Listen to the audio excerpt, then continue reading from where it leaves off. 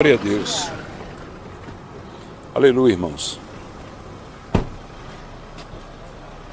Chegou o Joãozinho, olha aí, Joãozinho quer vir hoje aqui. Estamos esperando o pastor Raulos. Deus abençoe. Tá chegando aí, tá chegando. Glória a Deus, né? Dizer para os irmãos que estão conosco aqui, Adriano, que aqui, é, aqui é onde é o prédio da rádio, né? Onde funciona a Rádio TV Pão da Vida, que vai passar a funcionar daqui a pouco lá no call center que vocês têm acompanhado, né? Glória a Deus por isso. Amor, pega o telefone e dá uma ligadinha para Raul, para saber. Tá vindo já, amor, tem calma. Ele chegou antes. Mas era bom ligar. Pode ficar tranquila. Vem pra cá, chega. Olha aqui, mostra aqui o Joãozinho. E aí, como é que vai? Vá, pode falar. Fale, Meu irmão, então, fale com ela, fale. Vocês não abriram uma clínica? Vai sim, meu amor. Vamos abrir sim. Porque eu sei muito de artesanato, essas coisas. Você quer se tratar?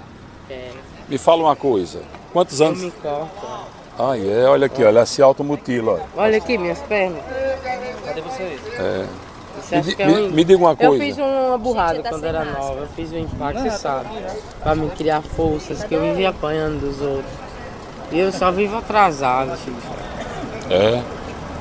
Eu lembro de você que você, seus filhinhos vinham ficar na rua com você, não era? É, Cadê eles? tão grande, eles tão tristes que eu tô fumando. Um tá trabalhando, tem 16, tá com a carne na mão. Meu outro, acho que se eu não cuidar, vai o mesmo destino. Pois é. Mas não nos droga na frente deles não. Eu tô precisando de vocês dois. Depois você vai pra lá, Vou. viu? A se tratar. Mas eu também, eu vou dizer, eu tomo remédio controlado. Mas eu sou calmo, tranquilo. Entendeu? Meu doutor é Ron Carlos. Quantos anos você tem? Eu tenho 31 anos, desde meus 11 anos, que eu fui abolinada com 5 anos, aí Amor, cheguei desde meus pastar 11 aí pra anos, Que- que eu fui- Vamos pra cá, vamos pra cá. que eu fui abolinada. Peraí, deixa eu, Aí eu, eu perdi um bocado de coisa assim da deixa eu, minha va- deixa eu- deixa eu perguntar a você. Aí aqui. Deus me botou pra falar com você. Você disse que foi abusada com 5 anos? Foi, Foi mesmo. foi. Não digo quem foi, porque. É, tá, eu. Vai me Não- prejudicar Não, aí. precisa dizer não, mas você. Você depois. Não, Deus me pediu pra chegar a você. Isso aí, mas me diga assim. Você casou, Não, se eu juntei. Primeiro eu tive filho com esse pai de meu menino, aí não deu certo. Sempre Do- a minha dois- vida. dois filhos. Foi. Trabalhava e tudo. De uma hora pra outra, quando eu separei, eu perdi minha avó e não fiquei bem. Eu sou normal, eu trabalho, eu faço tudo. Mas eu tomo medicação, tá entendendo? Preciso de uma ajuda. Não tenho família, minha mãe não quer me ver porque eu sou usuária de droga. Sua mãe mora aqui. Não, minha mãe se mudou, não tenho notícia de ninguém, não tenho família aqui. Sua mãe foi embora sem deixar notícia. Não quer saber, não quer saber. Porque eu era usuária e na época eu era lésbica, na época eu não sou mais não. Sim. Ela tinha preconceito até comigo. Sim. Era uma pessoa bem chata. E Deus me botou pra falar o que, que você pode fazer por mim. Não quero dinheiro, não quero não, eu quero uma ajuda. Não, mas lá você vai ganhar dinheiro. Você não disse que sabe fazer artesanato? Não, você sabe o que eu queria? Bater meu elétrico. Minha cabeça tá cheia de pontada, eu já sangue pelo nariz. Eu tenho É? pouco tempo. Pra eu mostrar o doutor Roncarlo. Você conhece o doutor Roncarlo? Do Só KPAD? Conheço de nome. Mas hoje você está morando na rua? Não, eu pago, eu parei mais drogas e tô pagando o auxílio junto com meu marido. Esse, esse tá bem, meu marido? Zé! Meu marido é ele. Sim. Esse de amarelo? Ele sofre tanto. Eu quebro tudo se chega dentro de casa, carro que não tem droga.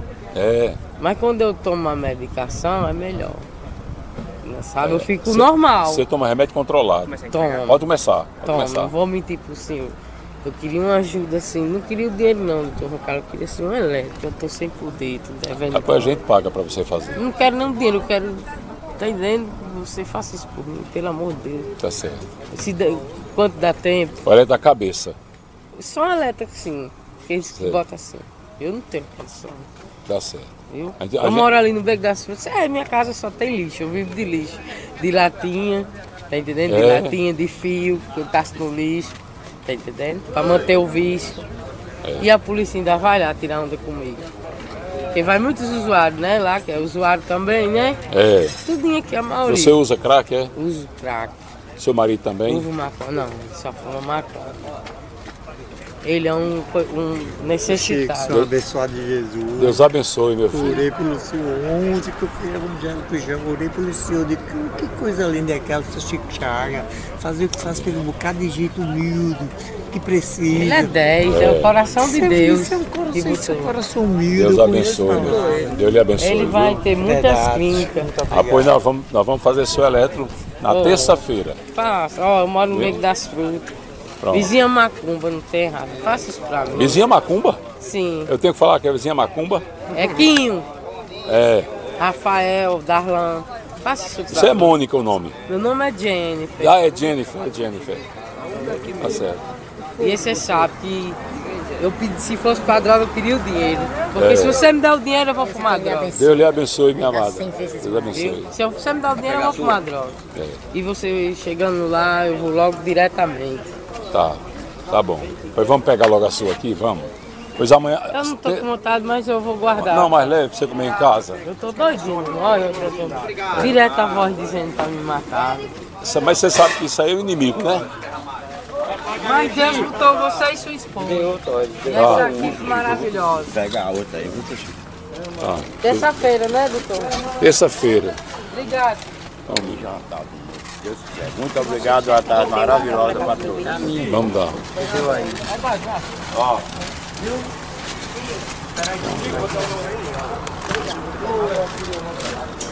Fez quantas hoje?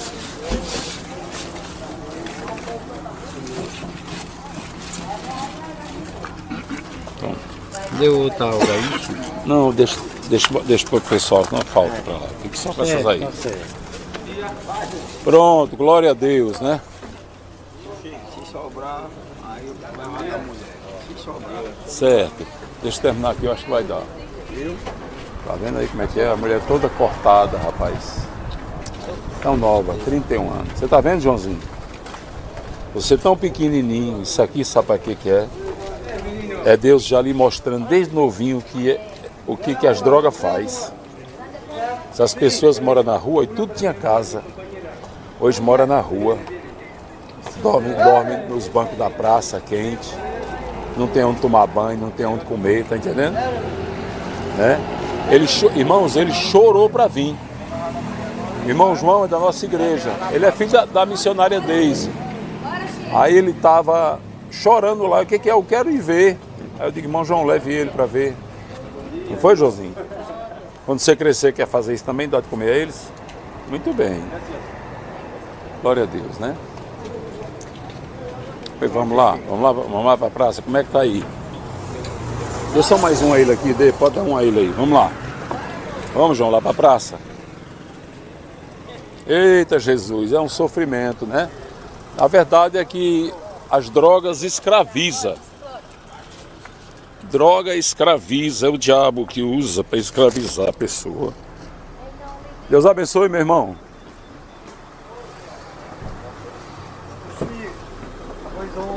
Sou pode acreditar como diz Jesus, que eu sou do Senhor, eu digo orei, que eu digo evangelho. Não, ele fa- tá falando que orou por, ele tá falando que orou por mim.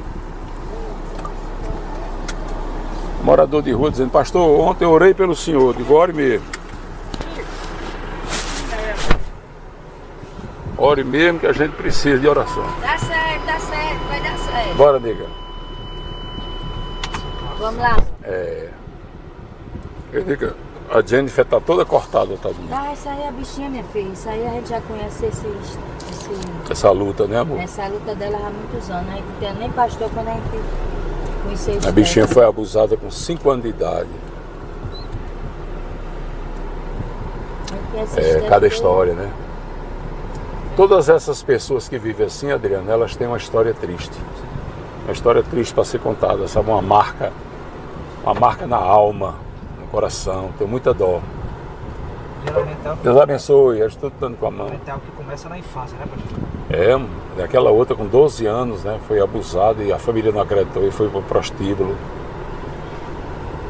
E outra é que a gente tá vivendo, a gente tem que orar. Aí você, você vê, você vê cada história. Essa semana, Adriano vai viajar para Alagoas, mas quando ele chegar, a gente vai deixar ele descansar um pouco, que a viagem é muito puxada. Mas quando eles chegarem, nós vamos fazer um trabalho de, de rua de novo para ouvir, porque é interessante a gente estar tá ouvindo as histórias. A gente fica triste, mas é interessante conhecer. É interessante conhecer a história deles. Porque é cada história que dói na alma, dói no coração. As pessoas ficam marcadas pelo resto da vida, ficam Vai, tristes, né? É. Cada história é uma mais triste do que a outra. Mostrou as pernas e os braços tudo cortados de gilete, né? Vocês viram lá os bracinhos tudo cortado de gilete. Olha aqui, Adriano, já tem um monte aqui esperando nós. Já estavam lá. Adriano, pode ficar aqui de dentro mesmo, a gente fica mostrando aqui. E deles já pegou lá. Cada pessoa dessa daí tem uma história. Uma história triste.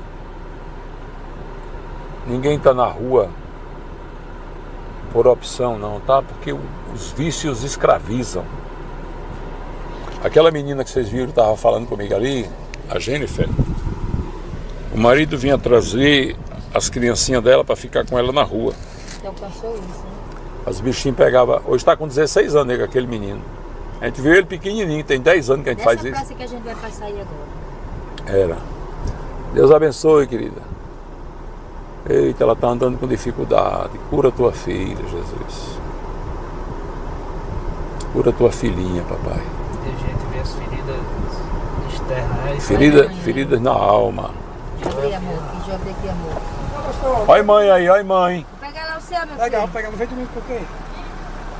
Que a gente, depois, depois eu lhe digo, depois eu lhe digo. Sim, sim, viu? certo. Ah, Deus abençoe. Domingo ele perdeu, né? É, domingo ele perdeu. Tá vendo aí como é que é? Sabe quem foi que eu nunca mais vi? Foi Marcelo. Nesses, nesses mais de 10 anos que eu e a pastora fazemos isso aqui, a gente já ouviu história da gente chorar. Já teve história aí, né? Como é que ele tá aí de camisa vermelha, olha. Olha. Pendrive. pendrive. Tá acabado, nega. Qual que você tá vendo pendrive? Aqui nesse vermelho não, É pendrive? não, é não. É, parece com ele, hein? Aí tá cheio, Jesus. É. A outra mancando ali. Esses outros já pegaram. É. Deus abençoe. A gente tem muita dó porque eu digo à pastora quando eu saio mais ela na rua, aí eu vejo, é pelado. Eu vejo uma pessoa andando assim, sem rumo, sabe? O cara passando na rua assim, você vê que ele não tem sonho, ele não tem nada. Já acabou tudo. Rapaz, isso me corta o coração. Porque nós, quando estamos na rua, Adriano, a gente sabe para onde vai. O carro, o carro. Aí voltar para nossa casa, para o braço da mulher, da mulher que a gente ama, Obrigada, mãe. nossos filhos, netos, né? Mas esse pessoal, você não viu a Jennifer dizendo? A mãe dela mudou de casa, a mãe dela mudou de casa para ela não achar ela. A mãe foi embora sem dizer para onde ia. É, isso acontece demais. Tem muita mãe que se muda e a gente não pode apedrejar essas mães, não, porque elas fizeram, tudo. tem muitas que fizeram tudo o que podia, tudo o que podia para restaurar, mas não conseguiram.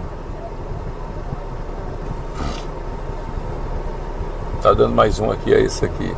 Cuidado que tá segurando o carro. Hum, Cuidado que tá segurando o carro. Tô vendo? Ele tá andando todo machucado aí. Aqui na rua eles brigam, né? Briga, Briga demais. Briga. Briga. Por roupa, briga por comer. Briga, Esse, briga esse aí hoje chinelo. tá, tá, ele tá fraquinho hoje. Olha arruma na calçada, mostra ali, Adriano. Olha aí. Olha arruma na Pegaram, calçada não? aí. Já pegaram.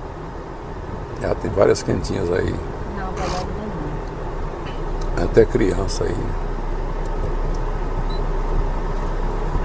Pegaram não, Adriana, aí na calçada? Não. Só tem um comentário. O outro tá dormindo, viu? É. Esse chão deve tá pegando fogo. Ai, Jesus. Tá, eu, irmãos, e olha, esses dias aqui em Mossoró, Tá um calor, Chico. um calor insuportável, tá um calor triste. Mossoró tá muito quente. Bora, Raul. Carro aí É atrás. porque tem um bichinho lá na frente, doido. Calor insuportável. Tá muito quente, muito quente. Imagina ele dormindo nessas calçadas quente, pegando fogo.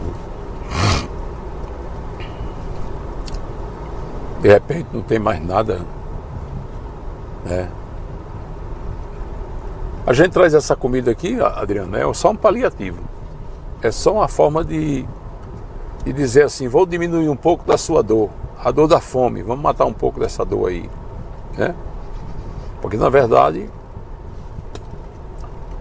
hoje a doutora Mariana, o doutor Anderson estavam visitando a casa do pai, ficaram felizes de ver a casa do pai como foi construída com amor, né?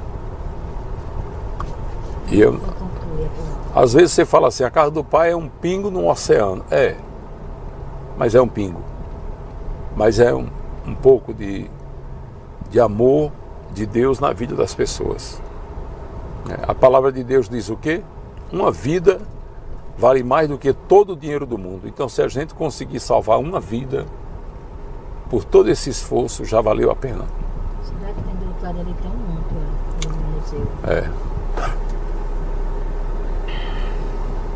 Mamãe, nós vamos ali na. na Depois daqui nós vamos morar, nega, nós temos o- é, o, nosso. pague menos aí da, da Cobal. Pra onde é que tá a farmácia? Tá pra cá ou tá pra cá? A gente compra no Alberto Maranhão e deixa lá. É. Comprar um remédio ali. Nega, eu acho que ele vai falar, você, você baixa aí e fala com ele aí, nega. Diga, moço. Viu, Pedro? Amém. Amém. Obrigado, meu amigo. Obrigado. Deus abençoe. Obrigado. Ele está me dando os pesos pela morte do Pablo. Eles acompanham redes sociais, povo. É, a cidade inteira ficou sabendo. Olha ali quem está ali. Fernanda. É só o cadáverzinho. Aquela perninha torta dela foi um tiro, ó, deram na perna dela. É. E é vaidosa, viu, nega? Deus abençoe. Tudo bom, Bessa? Vai Cadê a pastora? Aqui atrás, ó. baixa aí, nega, pra você ela, ela ver. Oi, minha filha. Oi, meu amor. Tá É. linda, pastora. Deus abençoe, minha filha. Abençoe, Deus Tá tão abençoe. Deus abençoe. Você Tá tá assim, bonita, hein? Tá com três meses. Tá bonita. Bruta. É bruta, bruta. Obrigado, vamos com Ah, Deus. Deus abençoe. minha filha. Meus pêsames, papai, viu? Amém. Obrigado, Fernanda. Deus abençoe, viu? Vou com Deus. Tá, obrigado. Tá. Abençoe. Amém. Ela tá com três meses a menina dela.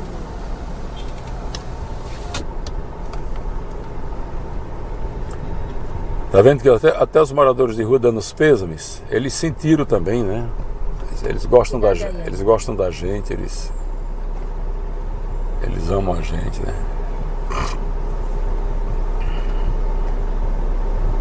Olha as mantas ali nos braços daquela ali. Ela tá.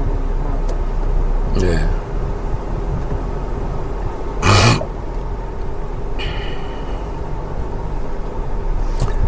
Aí em cima do carro tá o irmão Erivan e o pastor Adson, pastor do- da igreja dos Jardins. Lá dentro do carro o pastor Raulison, o irmão Arthur, né?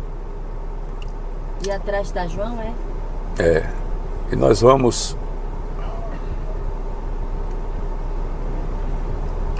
É tanta mulher na rua, meu Deus. É, muita mulher, mulher nova, viu?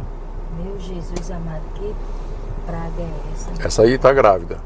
Barriga grande. Que praga é essa, meu pai? Vamos dizer, Pai Santo, Deus amado, Deus querido.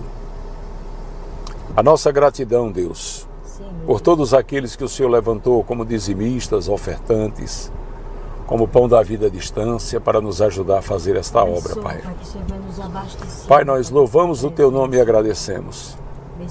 Agradecemos, Deus, pela vida dos que têm votos e propósitos, pela vida dos que desejam ajudar, pelos que oram, pelos nossos obreiros. Quantos obreiros estão aqui envolvidos nessa obra?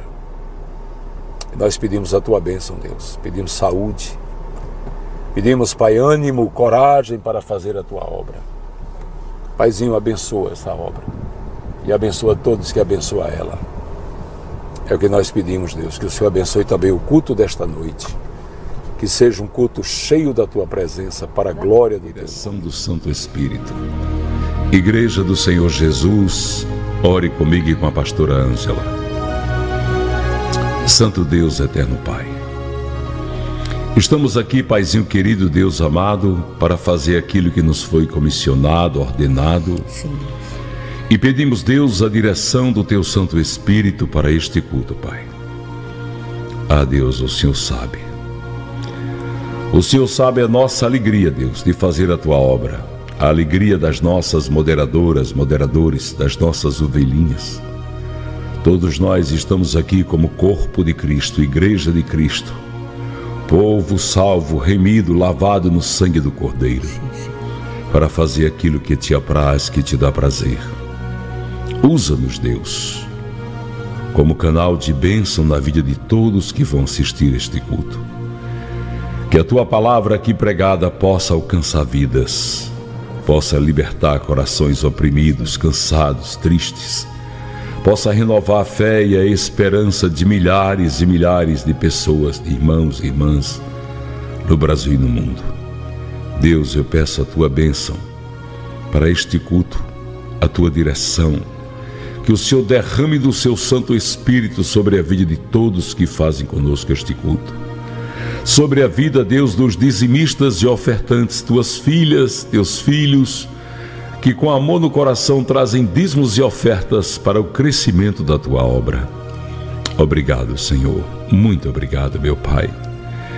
Enche a vida deles de paz, de saúde, de felicidade. Realiza em suas vidas o milagre da multiplicação, Deus realiza o desejo dos seus corações. Abençoe e atende todos que têm votos e propósitos com a casa do Pai, com a igreja Pão da Vida. Todos que pedem, Senhor, portas abertas para ajudar esta obra, abre as portas, Deus. Todos que oram e amam esta obra, porque sabem, têm a certeza que esta obra é uma obra que nasceu no teu coração e que o Senhor trouxe essa igreja para fazer a diferença na terra. Usa, Deus, os nossos pastores, pastoras, nossos obreiros, para junto conosco, Deus, levar o teu amor, o teu carinho a toda a igreja. É isso, Paizinho querido, Deus amado, que nós pedimos e agradecemos no nome de Jesus Cristo. Envolva-se no encontro da alegria. Mas vamos entrar com a mensagem, irmãos. Irmãos queridos, irmãs amadas, Hoje a igreja do Senhor Jesus, ela tem uma missão uma missão muito árdua. A bomba tá ligada, é? Parece. Tá não, tá não. Tem uma missão muito árdua. Nos dias que Jesus andou na terra, naqueles dias Jesus enfrentava uma luta muito grande. Olha, vocês, eu, nós não fazemos nem ideia do que Jesus enfrentou naquela época. Basta dizer para vocês que os poderes todos da época estavam contra ele. Os religiosos da época estavam contra Jesus. Jesus ia nas sinagogas porque a sinagoga é a igreja de hoje, é a casa de Deus, então ele ia. É tanto que ele chegou até a açoitar os cambistas, os comerciantes da sinagoga, dizendo: A casa do meu pai não é casa de comércio, é casa de oração. E nós temos, irmãos queridos, uma luta muito grande para levar as pessoas o Jesus que nós servimos. Nunca o povo precisou tanto de Jesus Cristo como está precisando agora, agora nos dias atuais. E eu vejo com muita tristeza que alguns líderes religiosos eles não entendem a sua missão. Eles não entendem. Não todos, graças a Deus, mas é a maioria. Infelizmente a maioria não entende. Não entende a sua missão. O pastor ele é um apacentador, a igreja é uma arrebatadora de almas do inferno para os pés de Jesus. E nós vimos que existe um investimento muito grande no mercado financeiro de algumas igrejas poderosas, ricas. Elas investem milhões e algumas até bilhões no mercado financeiro. Compra banco, compra rede de lojas, faz uma coisa assim terrível e as almas morrendo. Morrendo. As pessoas na rua, sofrendo. Aqui no início do culto lá hoje eu coloquei a entrega de almoço dos moradores de rua de ontem. E ela veio conversar comigo, a Jennifer, veio conversar comigo, contando a sua história, falando da sua vida, que era viciada em crack, falando que a sua mãe se mudou e não deixou nem endereço para não ter que encontrá-la mais. Ela disse: O senhor vai na minha casa porque eu preciso do exame? Eu disse: Vou. Ela disse: Já foi dizendo, a minha casa é um lixo. Minha casa só tem lixo. Ela mora num bequinho aqui chamado Beco das Frutas. Muito pobre. Minha casa só tem lixo. Ela já estava dizendo: não vá se assustar com a minha casa. E quando eu vejo pessoas como ela, e não é só no Brasil, eu vi uma reportagem sobre o estado de São Francisco, nos Estados Unidos, sendo devastado pelas drogas família sendo atacada, as crianças sendo atacadas como nunca na história, os valores da família sendo destruídos. E a igreja investindo em mercado financeiro, líderes poderosos comprando banco, fazendo acordos espúrios, verdadeiros sacerdotes do mal você já pensou se essas igrejas poderosas, pegue aí as quatro igrejas mais poderosas do Brasil, se essas igrejas investissem no social, elas teriam condição de construir uma cidade. Eu estou falando uma cidade para 300, 400, 500, um milhão de habitantes, para botar lá só pessoas em recuperação, só pessoas para serem profissionalizadas mas elas veem as pessoas morrendo, as ovelhas morrendo e não fazem nada. Eu tenho a impressão, irmãos, que Jesus fica muito triste com o que está acontecendo atualmente. Ele fica muito decepcionado. Porque ele vê as pessoas entrando na igreja, indo em busca dele e sendo exploradas, praticamente assaltadas e usando como arma a Bíblia para efetuar esse assalto.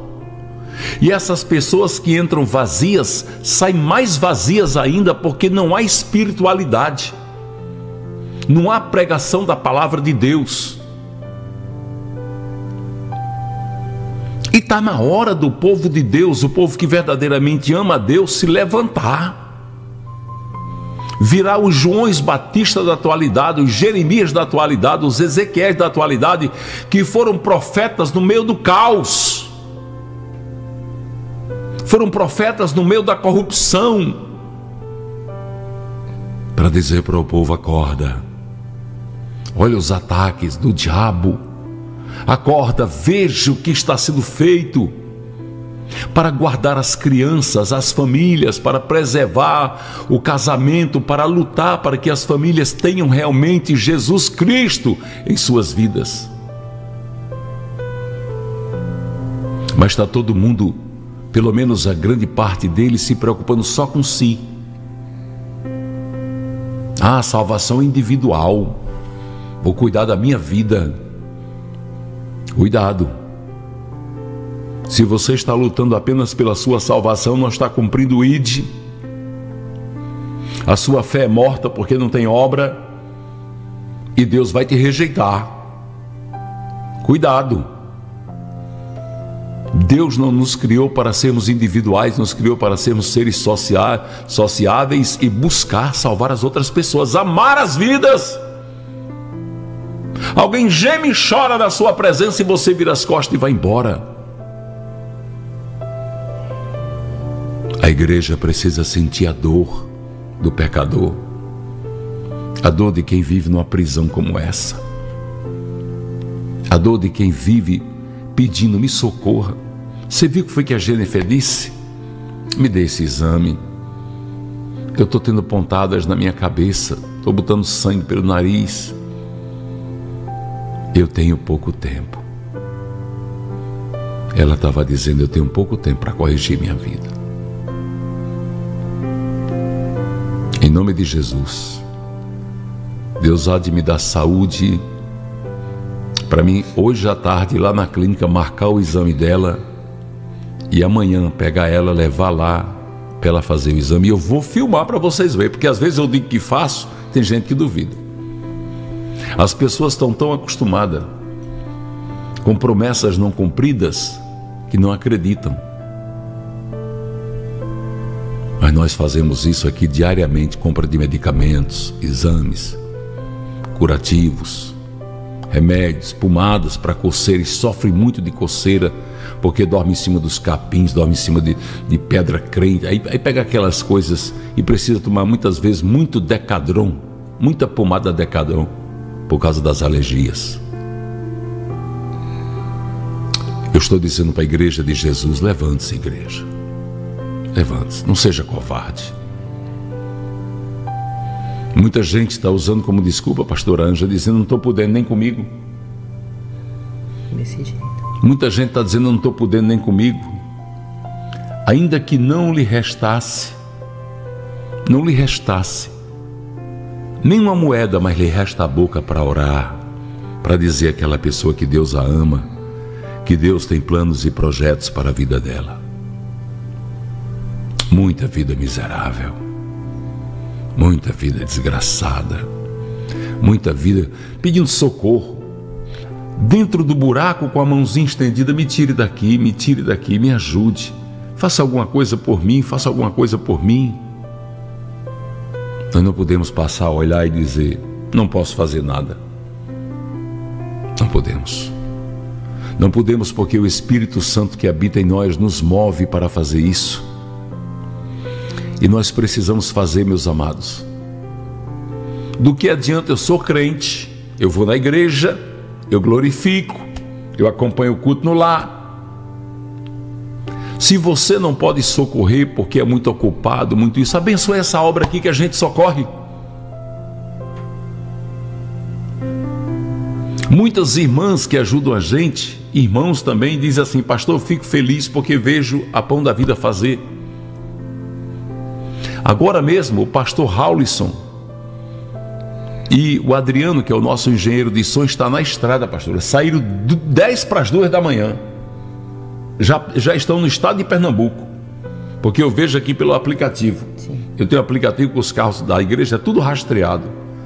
Eu vi aqui, há pouco tempo eu estava tomando café com a minha neguinha, estava vendo, eles já estão em Pernambuco.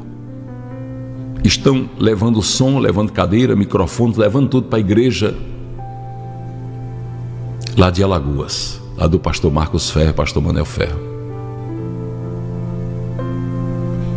Para a gente alcançar vidas, alcançar almas.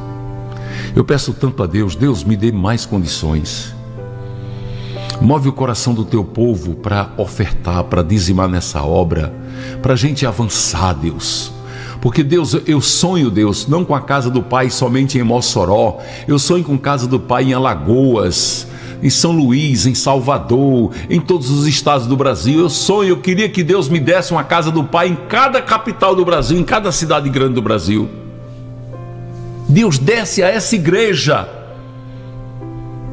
o direito, Deus, da gente fazer aquilo que nós amamos, porque foi o Senhor que colocou no nosso coração esse amor. Foi Deus que colocou esse amor no nosso coração. Nós precisamos fazer isso. Você às vezes diz, mas eu, eu não tenho tempo, eu trabalho demais, final de semana eu fico cuidando da minha casa. Nos ajude então.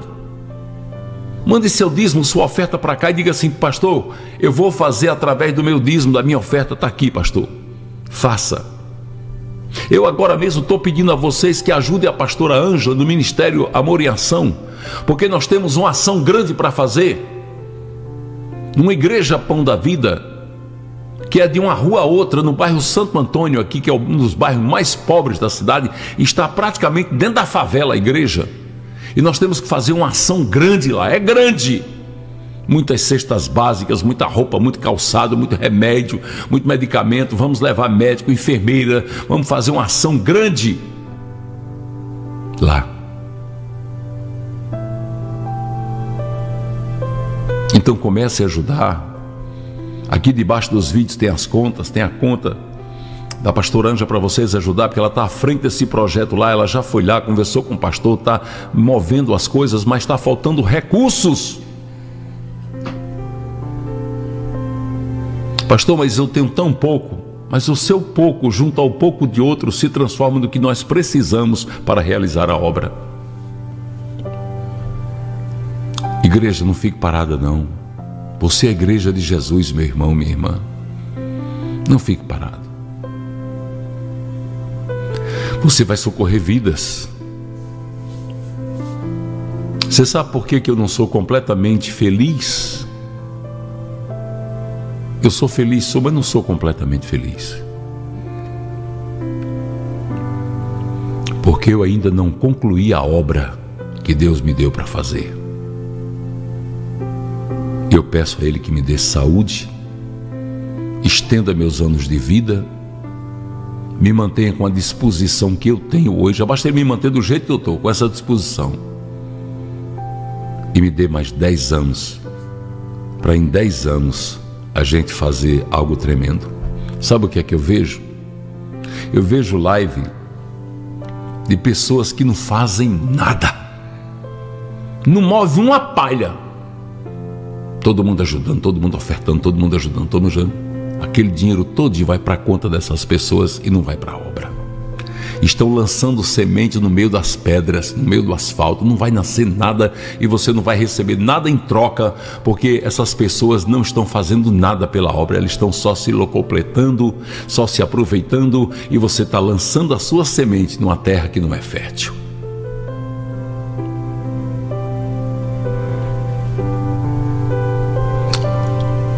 Abra os olhos. O inimigo está aí. E não vai pensar. Escuta o que eu vou dizer. Não vai pensar que o diabo está usando só quem está no mundo, não. Ele está usando quem está dentro da igreja. Líderes que se auto-intitula homens e mulheres de Deus e que não tem nada de Deus na vida deles. Nada.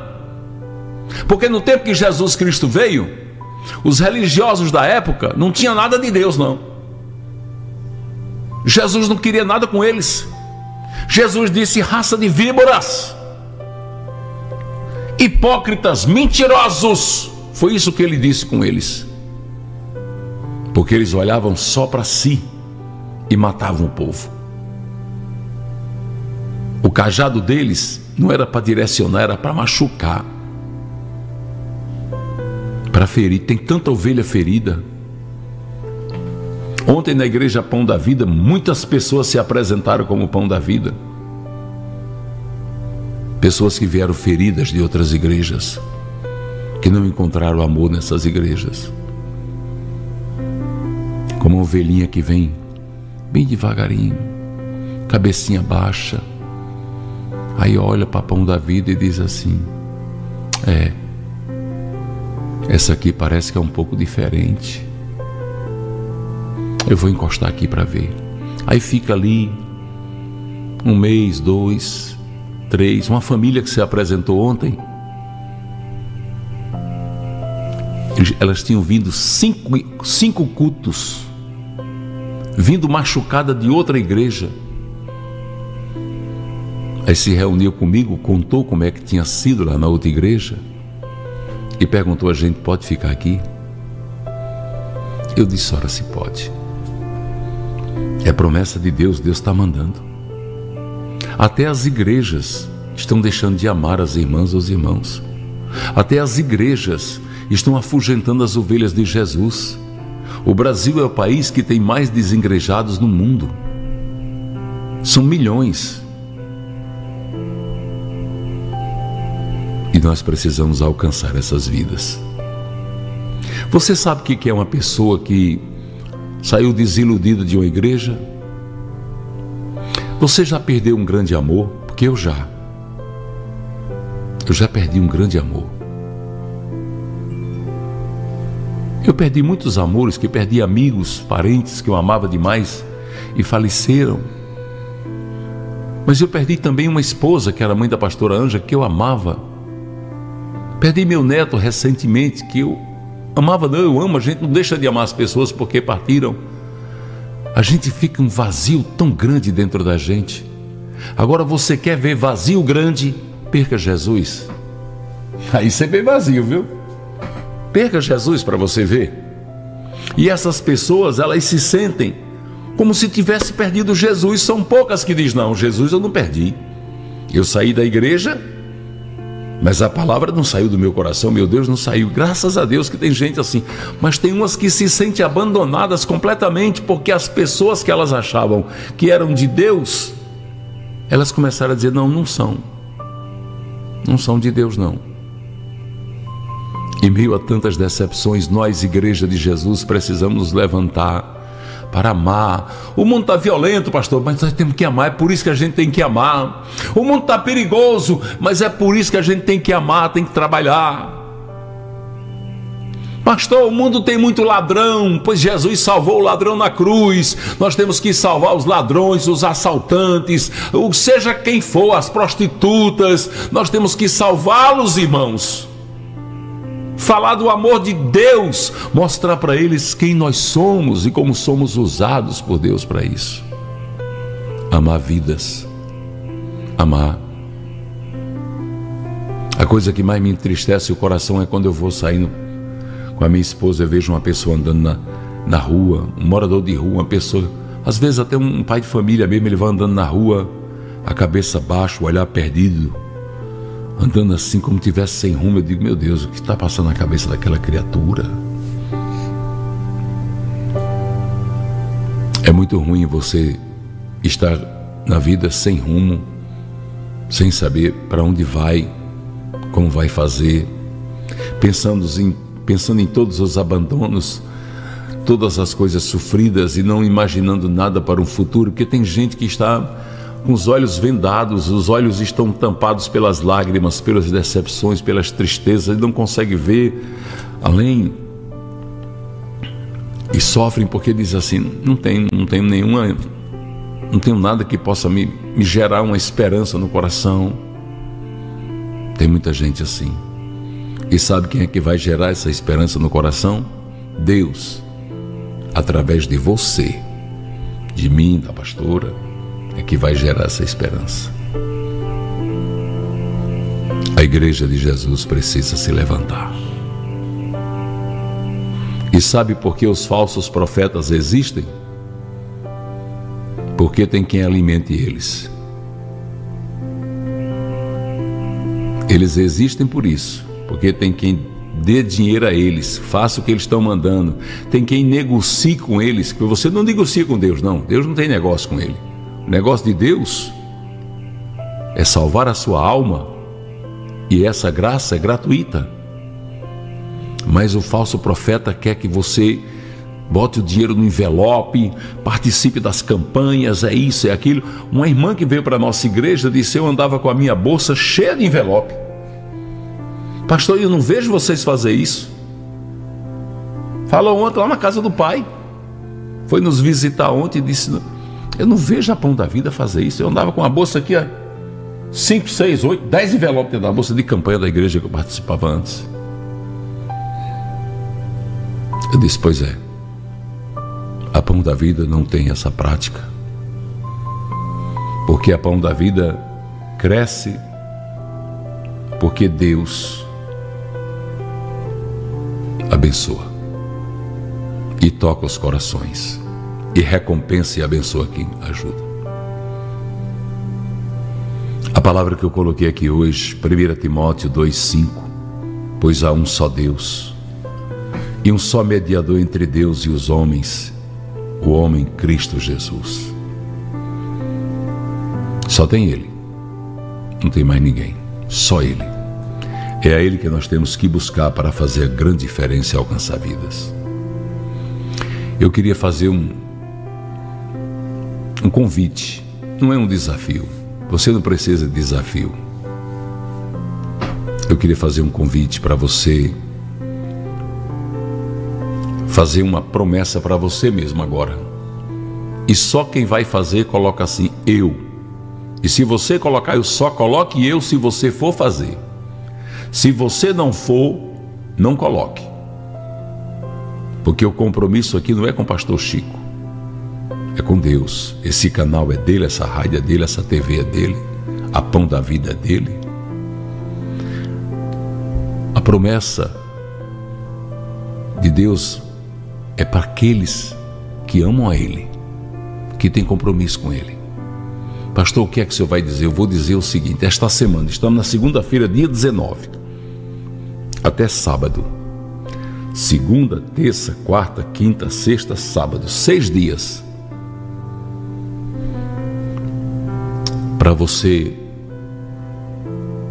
inscrever mais dez pessoas nesse canal, cada um, que dizer eu Pastor, como é que eu faço? Seus amigos, me dê aqui seu celular. Tem que ser pessoas que você tem liberdade. Vou escrever você no canal da Rádio TV Pão da Vida do pastor Chico Chagas. Vou escrever você aqui porque é um canal de bênção. Você precisa participar desta obra aqui. Escreve. 10. Você tem seis dias para escrever 10 pessoas. E eu estou aqui profetizando no nome de Jesus, como pregoeiro da palavra, apacentador do rebanho de Deus, profeta do Senhor, estou profetizando que grande será a recompensa que Deus vai lhe dar. Eu estou dizendo que grande será a recompensa que Deus vai lhe dar. Deus vai lhe abençoar. E quem quiser voltar aqui para dizer, pastor, eu recebi a benção já. Dez pessoas só. Vamos fazer esse canal crescer. Eu vou com 10 pessoas, pastor. As pessoas que estão ao vivo já estão colocando aqui eu. Você bota 10 pessoas. Se puder mais, quanto mais melhor. Mas o compromisso não pode ser menos de 10, é um compromisso com Deus. Eu estou aqui como homem de Deus, profeta de Deus, que vive para Deus 24 horas por dia, dizendo: O Senhor vai te recompensar de uma maneira tremenda, e você vai dizer: Recebi a minha bênção. Você vai pegar o celular da pessoa e vai dizer: me dê aqui. Bota no canal, escreve. Vou escrever você nesse canal aqui, que acompanha aqui para você ver que maravilha. A bênção que é. Porque esse canal, meus irmãos, tem abençoado muitas vidas. Olhe, vocês não fazem ideia da quantidade de gente que deixou de se suicidar por causa desse canal. Eu escuto isso todo dia. Pessoas dizendo: meu alimento diário meu bote salva-vidas, pastor. Deus me mostrou esse canal para me tirar da profunda depressão, da profunda tristeza. Eu estava à beira da morte, eu ia me matar. Você vai estar salvando vidas, edificando vidas. E diga mais: estou te escrevendo aqui, ó, tá vendo? Mas se você arranjar mais 10 inscritos, você vai receber a benção também. Essa benção é para todo mundo que arranjar. Os que vão assistir depois, se arranjar 10 inscritos, tá valendo até sábado. Para a gente multiplicar, para a gente alcançar. Porque só o que tem aí é site de moralidade, é canal de moralidade, coisas fúteis, bandidagem, é só o que tem aí. Mas nós estamos fazendo a obra de Deus e queremos contar com você. Que bom que muitos irmãos, o irmão Diego Souza, e muitos irmãos Lucenildes colocaram sim, eu vou fazer. E vai receber a bênção. Pastor Ângela. Glória a Deus. O que nós sentimos nesse tempo é uma igreja indiferente, insensível. É. Sabe? É quando você. É como você passar pela rua e você vê uma pessoa com um olhar distante, uma sensação de um total vazio, sem saber nem em, com quem contar e a quem buscar. É quando você vê aquela pessoa lançada ao chão, esperando que haja um olhar de amor, de sensibilidade, e as pessoas só vão passando. Quando a gente fala de uma igreja, uma igreja indiferente, é a igreja que se conforma em apenas estar no templo, indo adorar a Deus, se reunindo com os irmãos que já servem ao Senhor, que já declaram Jesus como Senhor e Salvador da sua vida, que se acomodam numa certeza de um cuidado de Deus para com os seus e não consegue sequer sair daquele ambiente e lançar sobre o outro o interesse. Apóstolo João lhe diz: Não amemos só de palavras, mas com obras, com verdade, porque aquele que ama Jesus, ele sempre tem um desejo no coração de que as outras pessoas também vivam o que nós estamos vivendo. Por isso que crente é tido como doido. Porque quando ele aceita Cristo, o que ele faz é o que a mulher samaritana fez.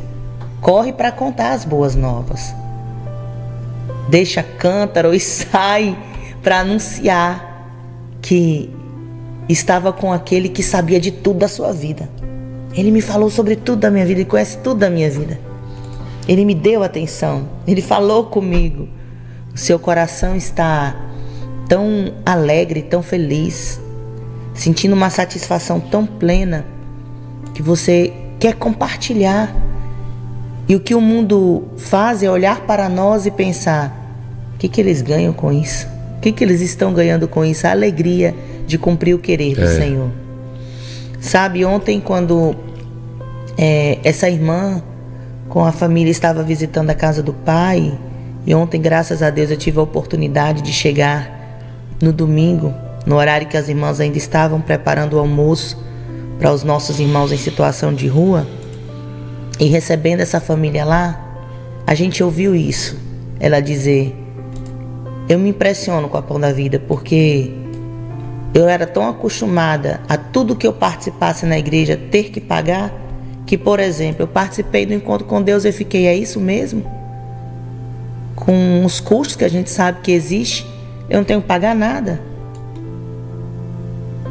Nós vemos pessoas que ficam admiradas com atitudes que deveria ser o normal. É você é, é para ser o, o, o mais comum de se ver na igreja do Senhor. As pessoas ficam admiradas quando vê alguém estender a mão para ajudar o próximo. Por quê? Porque o que a gente mais vê hoje é indiferença, é insensibilidade.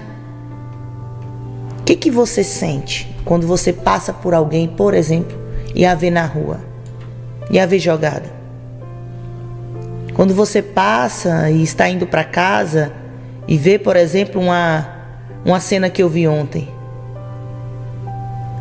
Um homem, não sei em que faixa de idade, mas altas horas da noite, ele lá no meio da rua, como se ele estivesse em qualquer lugar, sem, sem estar preocupado se ia ser atropelado, com um olhar distante, perdido, provavelmente bêbado, drogado. O que, que você sente? Às vezes nós é, não podemos fazer muitas coisas no sentido de coisas palpáveis, porque há receios, não é verdade? Mas tem algo que nós sempre podemos fazer, e é tremendo, que é interceder por essas vidas. Às vezes a gente está tão indiferente com o sofrimento do irmão, daquela pessoa, que você nem sequer diz assim: Deus tenha misericórdia. Eu acho lindo quando eu vejo, por exemplo, irmãs que caminham conosco. Esses dias nós estávamos fazendo a obra do Senhor nas ações do Amor em Ação e passou é, uma ambulância, pastor. E imediatamente uma das irmãs começou a orar: Senhor, tem misericórdia. É. Senhor, não sei para onde esta ambulância está indo atender, Pai, mas eu, chega ali. Eu faço também isso. Quando você vê um acidente na rua, você às vezes nem pode parar porque está tudo interditado, mas você já estende a sua mão pedindo a misericórdia de Deus sobre aquela vida. O nosso coração ele tem que estar, sabe, sempre motivado com as coisas do Senhor, sempre sensível agindo conforme a vontade de Deus. Eu gosto muito de falar isso, Senhor, me faz ver como o Senhor vem, me faz sentir como o Senhor sente, porque se eu, se eu começar a ter a visão do Senhor e sentir com o teu coração, eu vou agir como o Senhor agiria. É Exatamente. isso que a gente precisa fazer. Eu não posso me acomodar nos cuidados de Deus para com a minha vida e vendo pessoas perecendo, pessoas morrendo, pessoas sem conhecer Jesus, pessoas sem ter esperança, porque ninguém olha para elas, ninguém dá nada por elas e elas nem acreditam que ainda exista algo que possa transformar a sua vida. Não sonham porque não têm com que sonhar. Não esperam porque não tem com quem contar. E a gente precisa levar essa semente que traz frutos, que gera transformação, que levanta o caído, que pega aquele que ninguém dá nada e faz dele um missionário, que pega a pessoa que vive na culpa, na vergonha, na humilhação, e ela se levanta como um obreiro do Senhor, e daqui a pouco é ela quem está contando testemunhos, e é ela quem está ganhando almas para Jesus, e agora é ela já quem é um instrumento do Senhor, e isso vai se multiplicando por toda a terra. Nós temos muito o que fazer na igreja do Senhor. Muito. Nós precisamos pregar a palavra e talvez você diga, irmã, mas eu quero tanto pregar a palavra, eu não consigo pregar a palavra. Você não entende que a sua ação, a sua atitude, o seu estender a mão, o seu olhar de amor está pregando sobre o Deus que nós falamos. Tem que ver Jesus em nós. Sabe, eu fico maravilhada com os resultados do que o Senhor nos direciona para fazer.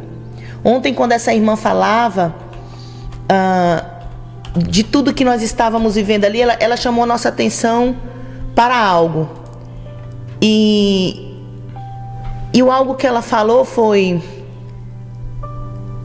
Foi assim. Deixa eu só liberar aqui, irmãos, uma mensagem, pronto. O algo que ela falou foi. Eu me impressiono com a ousadia do pastor em instalar, em começar, em sonhar com a casa do Pai, com essa clínica nesse lugar. Ela disse: o pastor trouxe a instalação de uma clínica para um local que ninguém sequer nem vê. Ela disse: Eu conheço essa Ela região. disse, aqui é como uma lareira no meio disso aqui, Ela- como uma fogueira no meio disso Ela aqui. disse: Ângela, eu conheço essa região. Eu fiquei impressionada quando soube que era aqui o local da casa do pai. Por quê? Porque aqui é um lugar excluído. Ninguém tem um olhar para esse lado da cidade. Ninguém quer negócio onde só se vê toco de jurema É. onde só há tristeza, onde é um povo totalmente esquecido, abandonado e sofrido. E ela diz: quando eu fui entrando aqui nessa região, eu convidei um dia o meu esposo, vamos passar ali onde é a casa do pai. E ela diz: quando você entra no bairro, ela disse: você sabe, né, Anjo, que quando a gente entra no bairro é aquela escuridão, é aquela tristeza.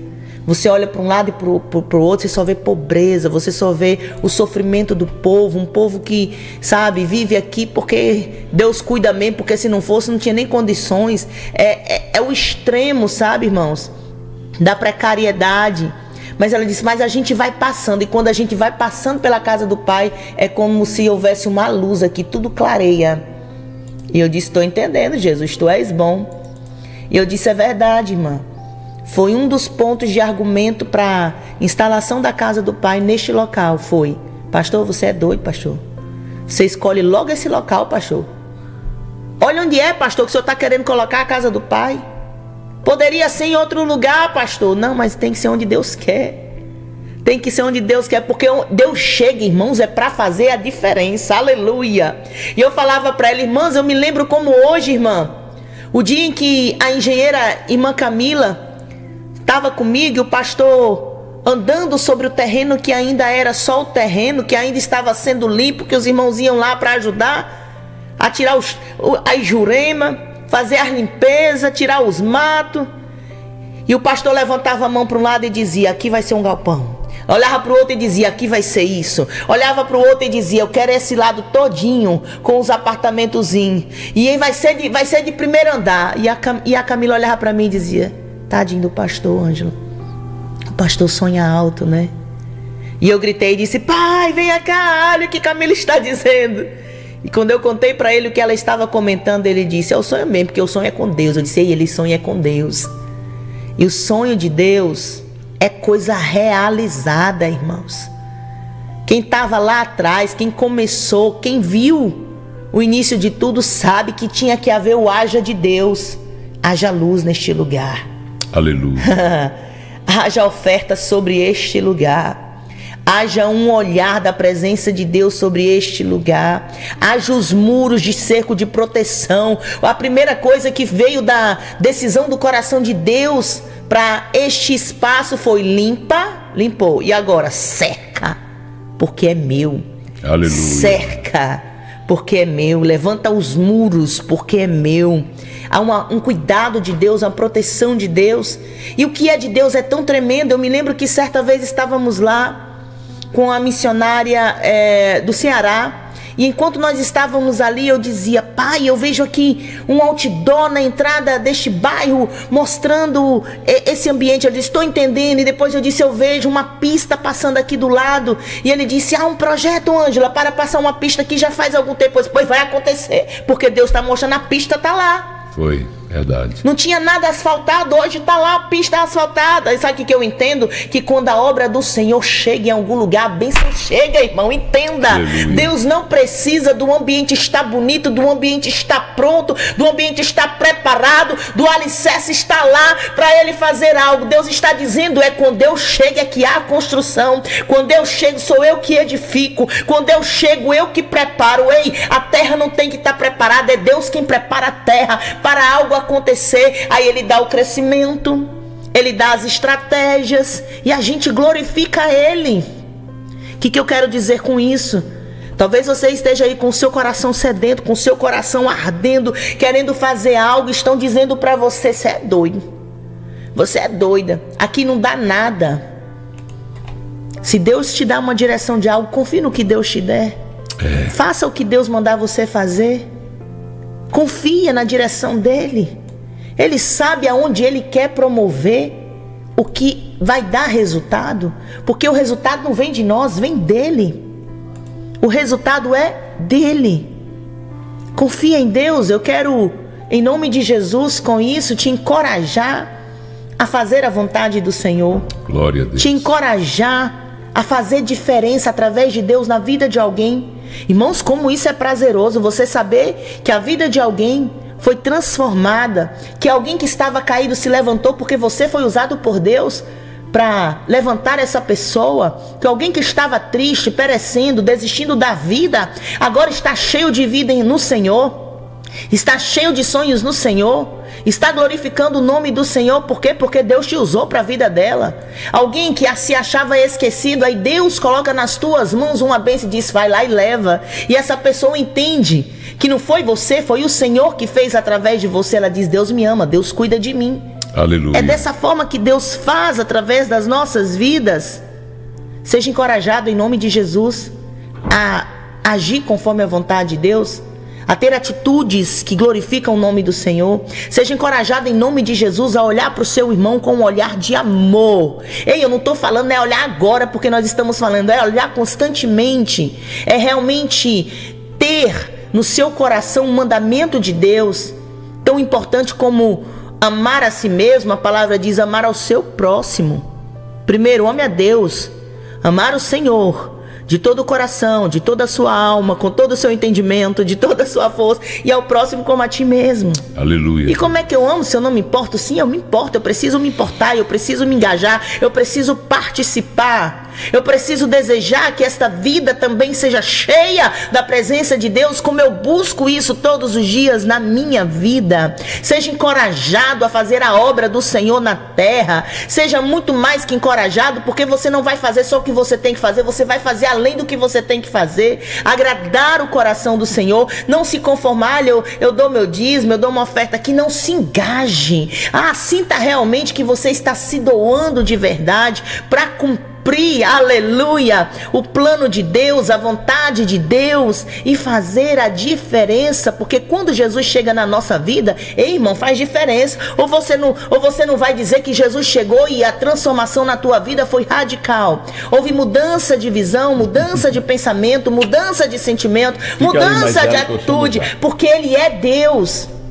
Ele é Deus. Ele é Deus na minha vida, na tua vida. E nós queremos que essas pessoas também sintam que sobre elas tem um olhar de Deus. É assim. Eu fico imaginando, sabe como, pastor? Uma cena assim. Uma pessoa que, por exemplo, está na rua. Ela tem o quê? Não tem nada. Deixa elas aqui. Ela tem o quê? Não tem nada. Por quê? Porque o, o teto delas é o céu. É. Aí você diz, eita, então tem tudo. Se Jesus está olhando para elas, qual é a proteção dessas pessoas? O que, que elas esperam pro dia de amanhã? A gente comeu hoje, talvez não comeu, comeu só o almoço e tá esperando que, sei lá, vou dormir para vou, vou, vou me encostar aqui e amanhã talvez chegue um café ou na hora do almoço chega alguma coisa, pedindo a misericórdia de Deus para passar dor no estômago, porque dor de fome é terrível. Às vezes a gente vive um momentinho ali com fome, dá aquela dor assim que, nossa, aquela pontada. Eu fico pensando, meu Deus, eu deixei de comer um, um pouquinho de tempo, já tô sentindo isso. Imagina esses moradores de rua, Jesus querido. É O que, que eles sentem, meu Pai? Pessoas com as suas feridas. E o olhar não é de eu quero te ajudar, mas é de nojo, é de não querer chegar perto. Ei, Diga, eu não sou indiferente, não. Sou não. Sabe por que, que eu e você não podemos ser indiferentes? Porque o nosso Deus não é indiferente à nossa dor, ao nosso sofrimento. E o que nós temos que refletir sobre o próximo, sobre os irmãos, é exatamente a maneira que Deus age para conosco. Eu não posso ser indiferente à dor e o sofrimento do meu irmão. Eu não posso agir como se isso não me atingisse como se isso não me trouxesse compaixão, não gerasse em mim um desejo de socorrer no Senhor essas vidas.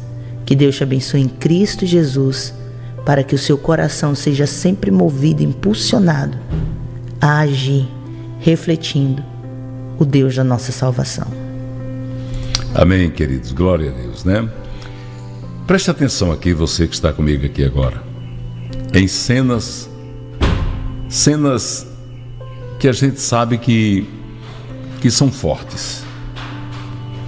E se Deus está fazendo assim, é porque hoje Ele quer que você veja, sinta, para você poder dizer que é Deus. Eu, eu agora conheço essa realidade. Eu conheço essa realidade. Veja só dois momentos. Quero mostrar para você só dois momentos em que a dor foi muito grande para essas pessoas. Olha aqui, escute. Deixa eu tirar o fundo musical.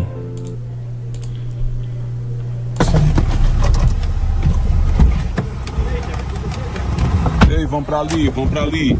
Fica esperando ali. Organiza aí. Aí tá. Né? É, Chico Chaga de Coelho. Tem, vai depois agora. Como é seu nome? Deógenes. Como? Deógenes. Quantos anos você tem? 25. Seu Chico Chaga, eu tô passando mal de fome. Vai comer agora. Me deixa, por que, Chico Chaga. por, por que, que você não foi almoçar? Glória a Deus por isso. Amor, pega o telefone e dá uma ligadinha pra Raul, pra saber. vindo já, amor, tem calma. Ele chegou antes. Mas era bom ligar. Pode ficar tranquila. Vem pra cá, chega. Olha aqui, mostra aqui o Joãozinho. Fica aí, amor. E aí, como é que vai? Vá, pode falar. Fale, tem fale com ela, fale. Vocês não abriram uma clínica? Vai sim, meu amor. Vamos abrir sim. Porque eu sei muito de artesanato, essas coisas. Você quer se tratar? Quero. Me fala uma coisa. Quantos Eu anos? me corto. Ah, é, olha aqui, olha, ela se automutila. olha. Olha aqui minhas pernas. Cadê vocês? É. Você Me acha di- que é me- um- me diga uma Eu coisa. fiz uma burrada tá quando era nova. Eu fiz um impacto, você sabe. Pra me criar forças, que eu vivia apanhando dos outros. Eu só vivo atrasado, Chico. É. Eu lembro de você que você, seus filhinhos vinham ficar na rua com você, não era? É, Cadê eles? tão grande, eles tão tristes que eu tô fumando. Um tá trabalhando, tem 16, tá com a carne na mão. Meu outro, acho que se eu não cuidar, vai o mesmo destino. Pois é. Mas não droga na frente deles não. Eu tô precisando de vocês dois. Depois você vai pra lá. Vou. Viu? A se tratar. Mas eu também, eu vou dizer, eu tomo remédio controlado. Mas eu sou calmo, tranquilo. entendeu? Certo. Meu doutor é Roncardo. Quantos anos você tem? Eu tenho 31 anos, desde meus 11 anos, que eu fui abolinada com 5 anos, aí Amor, cheguei desde meus passar 11 aí pra anos que, que eu fui, Vamos pra cá, vamos pra cá. que eu fui abolinada. Peraí, deixa eu. Aí eu, eu perdi um bocado de coisa assim da Deixa eu, minha va- deixa eu- deixa eu perguntar a você. Aí aqui. Deus me botou pra falar com você. Você disse que foi abusada com 5 anos? Foi, Foi mesmo. foi. Não digo quem foi, porque. É, tá, eu Vai me não- prejudicar Não aí. precisa dizer não, mas você. Você depois. Não, Deus me pediu pra chegar a você. Isso aí, mas me diga assim. Você casou, Não, se eu juntei. Primeiro eu tive filho com esse pai de meu menino, aí não deu certo. Sempre Do- a minha dois- vida. dois filhos. Foi. Trabalhava e tudo. De uma hora pra outra, quando eu separei, eu perdi minha avó e não fiquei bem. Eu sou normal, eu trabalho, eu faço tudo. Mas eu tomo medicação, tá entendendo? Preciso de uma ajuda. Não tenho família, minha mãe não quer me ver porque eu sou usuária de droga. Sua to- mãe mora aqui? Não, minha mãe se mudou, não tenho notícia de ninguém, não tenho família aqui. Sua mãe foi embora sem deixar notícia? Não quer saber, não quer saber. Porque eu era usuária e na época eu era lésbica, na época eu não sou mais não. Sim. Ela tinha preconceito até comigo. Sim. Era uma pessoa bem chata e Deus me botou pra falar. Ah, o que você pode fazer por mim? Não quero dinheiro, não quero nada. Pois é, irmãos, essas pessoas são as pessoas que você está ajudando. Abusada, abandonada, triste, dizendo eu vivo atrasada. Mas Deus vai nos dar o direito de tirar essa mulher dessa situação. Os filhos hoje estão tristes, ela disse. Meus filhos estão tristes comigo porque eu fumo. Fumo o quê? Crack. Mas Deus vai reverter essa situação. Em nome de Jesus Cristo. Sabe por quê? Porque Ele é Deus forte. A Nicole já está aqui, a Lavinha também. Daqui a pouco eu vou mostrar a Lavinha. Lindas de Jesus. Nós vamos tocar um hino e depois vamos conversar com elas aqui, tá bom? E o hino nós vamos tocar qual é, pastor? É esse aqui.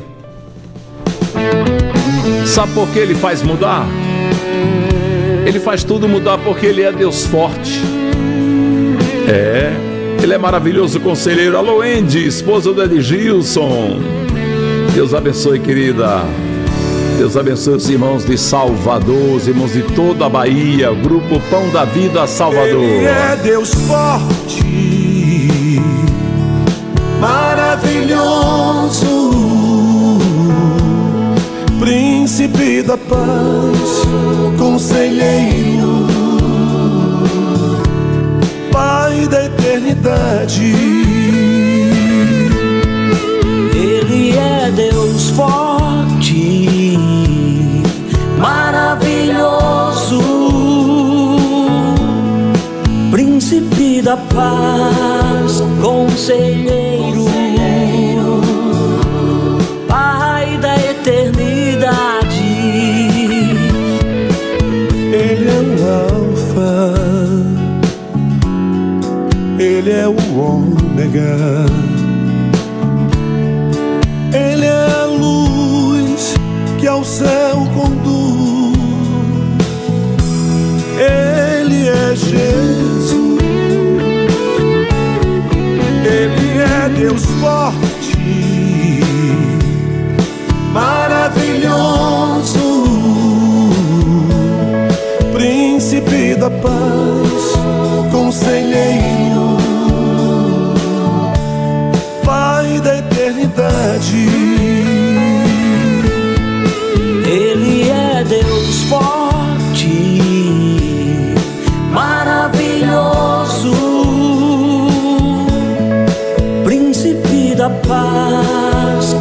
conselheiro,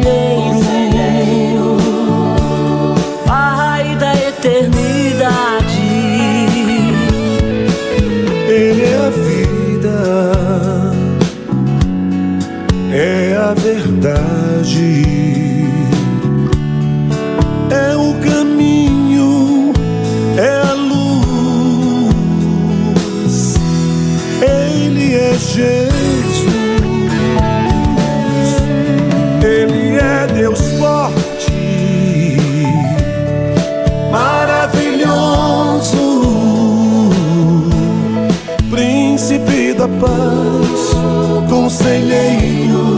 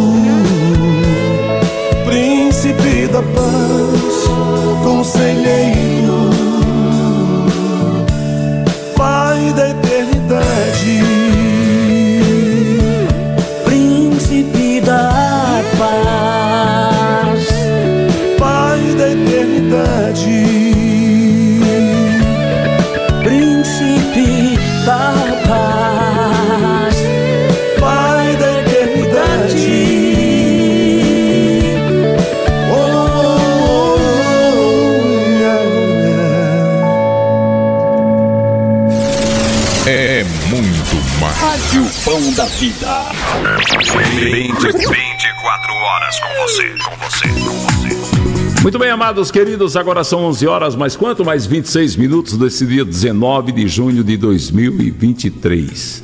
Olha que coisa fofa. Lavínia, vem cá, vem cá. Deixa ela entrar aqui no meio. Fa- Faz lá só um pouquinho assim. Pronto. Vem cá, Lavínia, entra aqui no meio. Vem cá. Olha que coisa mais linda. Uma mãe que tem duas princesas dessa, não é muito feliz, não? Diga seu nome completo. Você está falando baixinho por quê? Está com medo de falar? Natália Lavínia Do Nascimento Magalhães. do Nascimento Magalhães. E o seu nome completo, o seu dela? O seu? Nicole do Nascimento Magalhães. Elas são irmãs, filhas da irmã Márcia. A Nicole foi quem contracenou com a pastora Ângela, aquela peça do Alto de Páscoa, né? Ela fazia o papel da filha da pastora Ângela. Vocês foram impactados por aquele momento ali, né? E a Rádio TV Pão da Vida vai abrir espaço para a Nicole fazer um programa infantil. A Nicole hoje ela já já dirige junto com a irmã Larissa o cultinho das crianças, porque enquanto a igreja está se reunindo lá dentro, os adultos têm as três salinhas eh, com divisão pela pela idade, cuidado pela pela irmã Márcia, pela irmã a irmã Elisanira e outras irmãs, eh, são muitas, né? Irmã irmã, irmãs maravilhosas que ajudam a, cuidar das crianças e eles vão lá para debaixo da tenda, as criancinhas, né? Assim, É, vamos lá de, pra debaixo. Tia Márcia também. Tia Márcia? É, ajuda também nesse cutinho. Eles dão o cultinho das crianças, que coisa linda. Aí eu estava mostrando para ela aqui, você viu que ela ficou limpando os olhinhos, chorando, e mostrando para ela o auditório. Eu disse a ela, olha, você vai fazer um programa, um programa para crianças na Rádio TV Pão da Vida e nós temos um auditório. Sério? Tem, tem um auditório e você pode fazer um, um, um programa no auditório, uma espécie de culto para criança, né? Eu mostrei para ela, ela se emocionou, mostrei o auditório, aqui o auditório, né? O auditório da, da Rádio TV Pão da Vida, lá no call center, quando estiver pronto, né? O auditório vai ficar lindo, aí, com muitas cadeiras, né? São, vão ser 120 cadeiras, parece, que dá lá. Mas deixa eu fazer uma entrevista com vocês aqui. Quem, quem dá mais trabalho pra mamãe? Bicho, um olhou pra outra. Ficou difícil saber agora quem. Eu acho que é Lavínia. Isso é muito linda, né? É muito lindo. Mas, irmãos, elas, a mãe dela, a irmã Márcia, só tem elas duas, sabe? E você, você passou a ser crente quando? É, na Pão da Vida mesmo, é, em 2019. Sim, foi em 2019. Foi em 2019. Ainda lá no outro lado. Sim, é você, você está. É mesmo, rapaz, é mesmo. Você está dentro do bem outro lado. pequenininha, tinha dois anos. Se ela é bem miudinha, e você aqueceu, só um pouquinho, né? Vinha mais pra cá para o povo ver você. Aí, naquele tempo, vocês, as crianças ficavam na calçada, não era? Era na calçada e depois. Tá vendo, irmãos? Na calçada. Aí depois abriu aquela garagem. Tinha um tapete lá na calçada. Aí botava lá as cadeirinhas. E dava pra ouvir o que os pastores estavam pregando. Dava pra ouvir o culto todinho, mas tinha Thaísa, que era a nossa tia, fazia. Fazia atividade com a gente. Era muito carinhosa, tinha muito amor com a gente, paciência. É, Thaísa porque era muita criança, muita criança. E davam, uns davam, davam trabalho. É. E outras não. Tem umas mais comportadas e outras mais abençoadas. Mais trabalho. Interessante, sabe o que é, irmãos? É que elas ficavam na calçada, a calçada passava o dia no sol, porque a, a igreja era do lado do sol. Olha como Deus muda hoje, né? Três salas, tudo com ar-condicionado, tudo arrumado, muito bonito as salas, né? Olha aí o que foi que- a irmã Cleide Alves botou. Que lindas missionárias de Jesus. Tá vendo, Lavínia? Chamando você de missionária de Jesus, olha aí. Que maravilha, né? Mas aí, a irmã Wanda Abreu, Deus abençoe. Irmã Cida Abreu, Deus abençoe. Me diga uma coisa, é, você, ela teve um testemunho forte, a gente não vai nem explorar isso não, a gente vai falar, vou- depois vou deixar ela dar uma palavra aqui, mas ela teve um testemunho, um testemunho forte que ela estava debaixo de uma, de uma maldição que Deus quebrou, graças a Deus. Graças a Deus. Foi no sábado, ela perdeu a voz, foi sábado? Foi sábado. Sábado ela perdeu a voz, tá- não estava conseguindo falar. A mãe dela ligou e disse: Pastor, faça uma oração com Nicole. Ela perdeu a voz. Eu disse: Vocês estão estamos na igreja, estamos no ensaio. Eu digo: Vou aí agora. Fui na igreja e passei o óleo ungido na garganta dela, orei. A voz dela voltou na mesma hora. Deus restituiu a voz dela. É uma criança dessa, irmãos, que, trabalha para Deus, o inimigo quer calar, né? Mas Deus já libertou, já tá, acabou. Você, tá, você preparou uma palavra? A voz vai lá, prega a palavra. Eita glória! Ela trouxe a Bíblia dela aí. Pode, É. pode, pode ficar à vontade. O Salmo 91 é um salmo de batalha. E quando a gente estiver passando por uma guerra espiritual, vocês procurem o Salmo 91 e procurem a Bíblia, porque é a, espada, a Bíblia. Eu vou ler aqui o Salmo 91. Deixa eu só aqui, sim. E eu leio todos os dias de noite, antes de dormir e quando eu acordo. Leio sete vezes. Hoje, é, eu e minha mãe, a gente tá começando a ler, porque a gente tá passando por uma guerra espiritual. E a tia Márcia disse pra gente começar a ler o Salmo 91 todos os dias. Aí minha mãe lê uma vez e eu leio outra vez. A pessoa que procura segurança no Deus Altíssimo e se abriga na sombra do protetor, do Todo-Poderoso, pode dizer a ele: Ó Senhor, ó Senhor Deus, tu és o meu defensor e o meu protetor, tu és o meu Deus em quem eu confio em ti. Deus livrará você de perigos escondidos e de doenças mortais. Ele o cobrirá com as suas asas e debaixo delas você estará seguro. A fidelidade de Deus o protegerá como um escudo. Você não terá medo dos perigos da noite, nem de assaltos nem de assaltos durante o dia. Não terá medo da peste que se espalha na escuridão, nem, nem dos males que matam ao meio-dia. Ainda que mil pessoas sejam mortas ao seu lado e dez mil ao seu redor, você não sofrerá nada. Você olhará e verá como os maus são castigados. Você fez do Senhor Deus o seu protetor e do Altíssimo o seu defensor. Por isso, nenhum desastre lhe acontecerá e a violência não chegará perto da sua casa. Deus mandará que os anjos dele cuidem de você para protegê-lo. Aonde quer que você for, eles vão segurá-lo com as suas mãos para que nem mesmo os pés sejam feridos nas pedras. Como com os pés você esmagará leões e cobras, leões ferozes e serpentes venenosas. Deus disse: Eu salvarei aqueles que me amam. E protegereis o que reconhece quem eu sou Deus, o Senhor. Quando eles me chamarem, eu responderei, e estarei com eles nas horas de aflições. Eu os livrarei e farei com que sejam respeitados. Como recompensa, eu lhes darei vida longa e mostrarei que eu sou o Salvador. Aleluia, glória a Deus. E você lê bem, se expressa bem, tá vendo? Tá vendo, Lavínia? Já é uma locutora de Jesus. Eu tô aprendendo a ler também. Estou aprendendo a ler também. Eu também quero participar do programa lá, né, Lavínia? Irmãos, é interessante, aí tá aqui elas.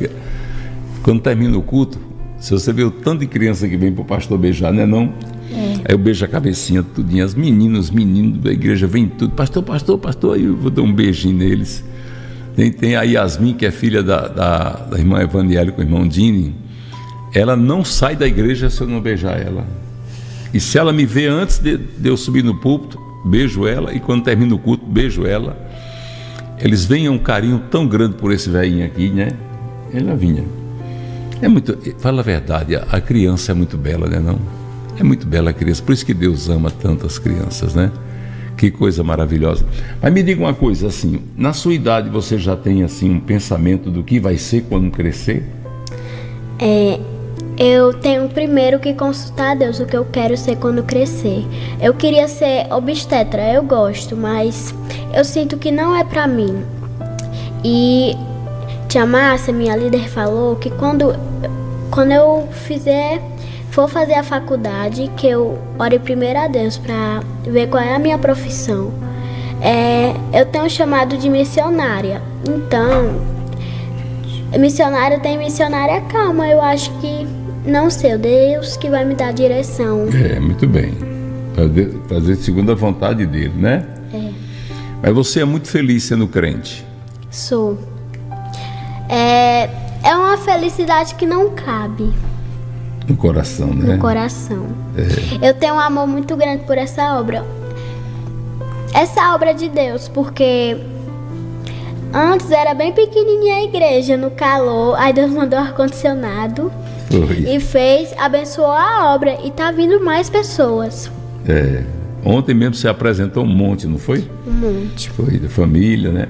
Até um promotor de justiça aqui da cidade entrou para Pão da Vida ontem, doutor Romero Marinho, se apresentou com a família dele, né? Um promotor que já está em Mossoró há mais de 20 anos, um, um homem muito bom e é um servo de Deus, pregador da palavra, e veio para nossa igreja, né? Ontem ele se apresentou com a família dele, que coisa.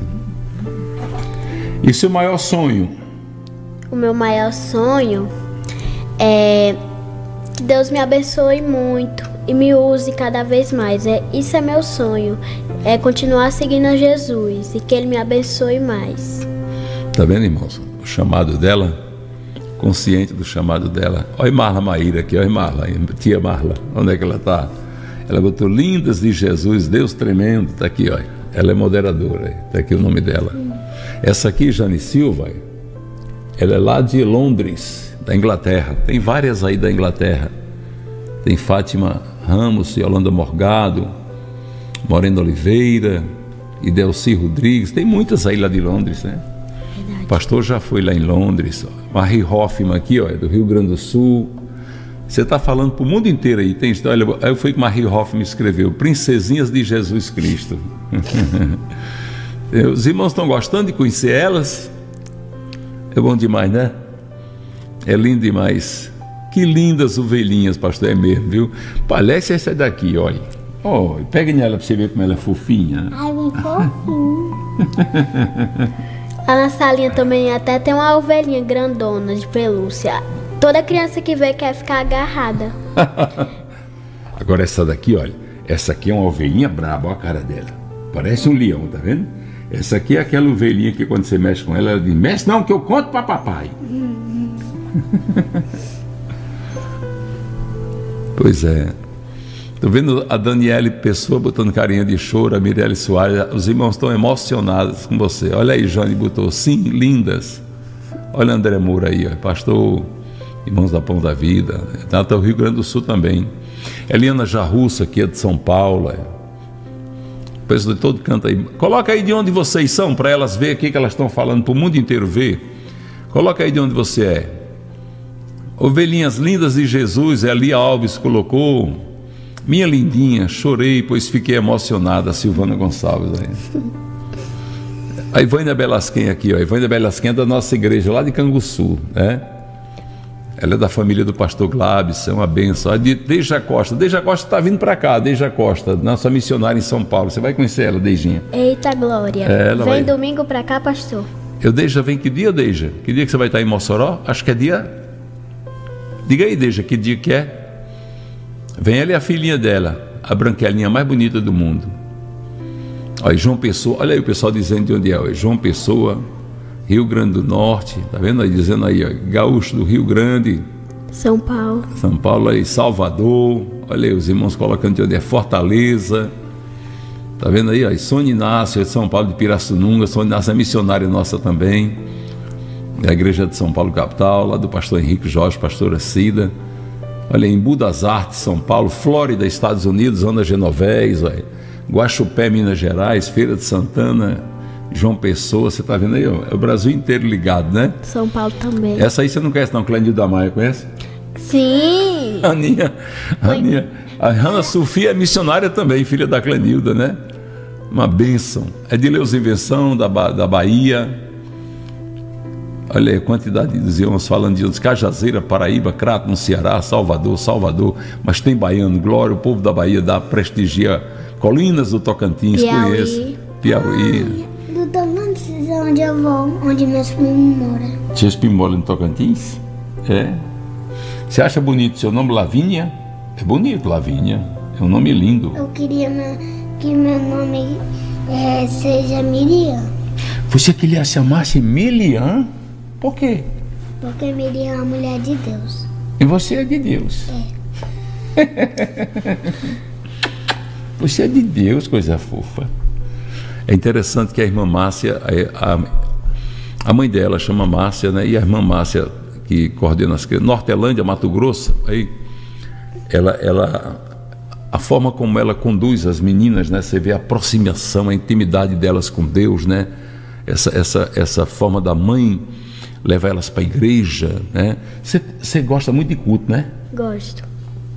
Quando, quando- os cultos da igreja vocês vão quase tudo, né? Tudinho. Não fica não deixa nenhum, né? Não. Se faltar é porque algum- problema. Teve uma vez que a gente foi de Uber. Minha mãe disse: Eu vou pra esse culto sim.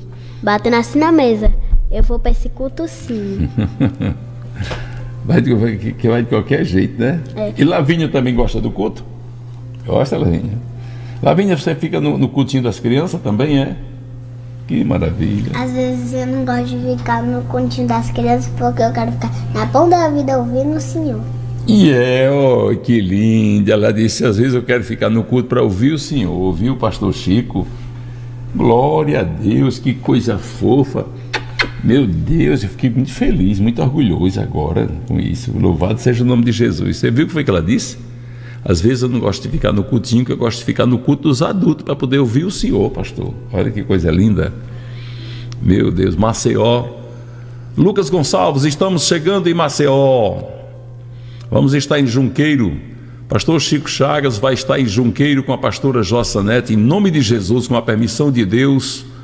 Dias que dia que é? Dia 24, dia 24 e 25, próximo final de semana, na consagração dos templos da Pão da Vida em Junqueiro. Duas igrejas estão sendo abertas para a glória de Deus. Né? Uma está em construção, a outra já está está recebendo tudo agora, os irmãos já estão no caminho, o pastor Raulison, irmão Adriano, quero mandar aqui meu abraço carinhoso ao pastor Marcos Ferro, pastor de Junqueiro, e o pastor Manuel. Esses pastores aí, meus irmãos, serão os pastores que vão comandar a Pão da Vida no estado de Alagoas. Glória a Deus. Né? Abrindo mais pão da vida. É, a igreja chega em todo canto, né?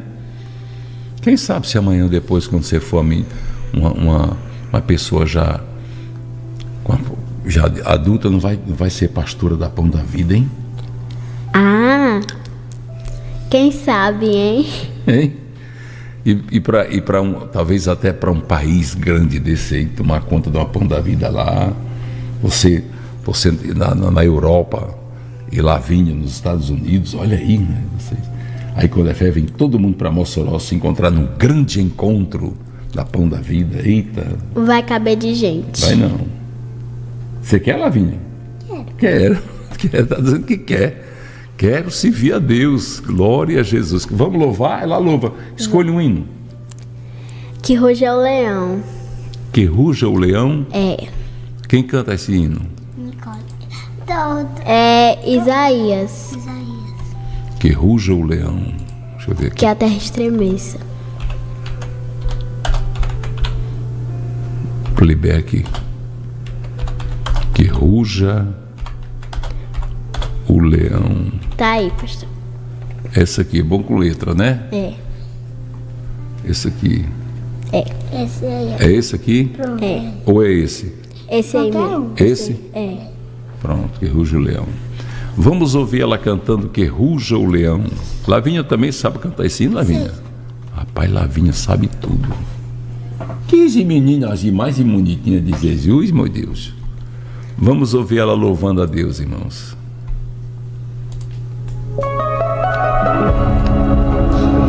É muito forte esse hino. Mexeu muito comigo quando eu escutei a primeira vez esse hino. Esse Sobre o trono de justiça, eternamente haverá um rei. Ele voltará para governar as nações em amor. Aleluia. Que ruja o leão e que a terra estremeça diante da majestade de Jesus. Que ruja o leão e que a terra estremeça diante da majestade de Jesus. Que lindo.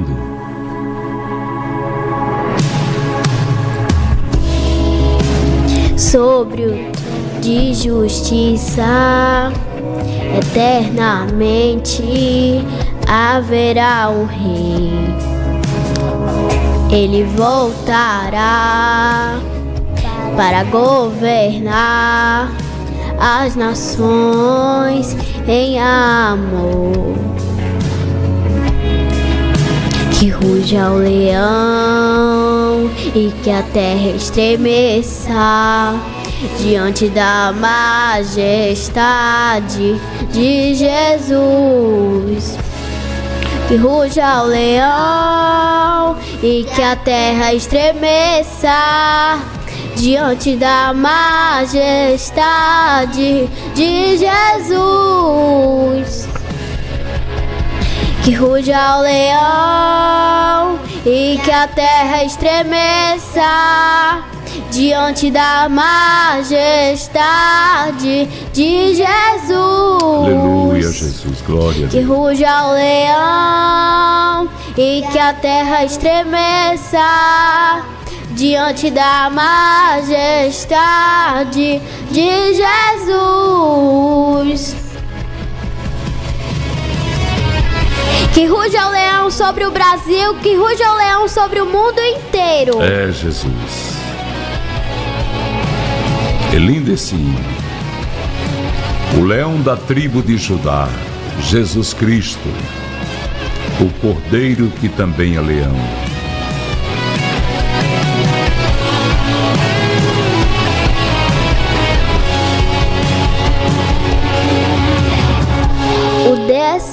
Descendente de Davi, o homem mais notável. Ele ama a justiça, odeia iniquidade. O descendente de Davi, o homem mais notável.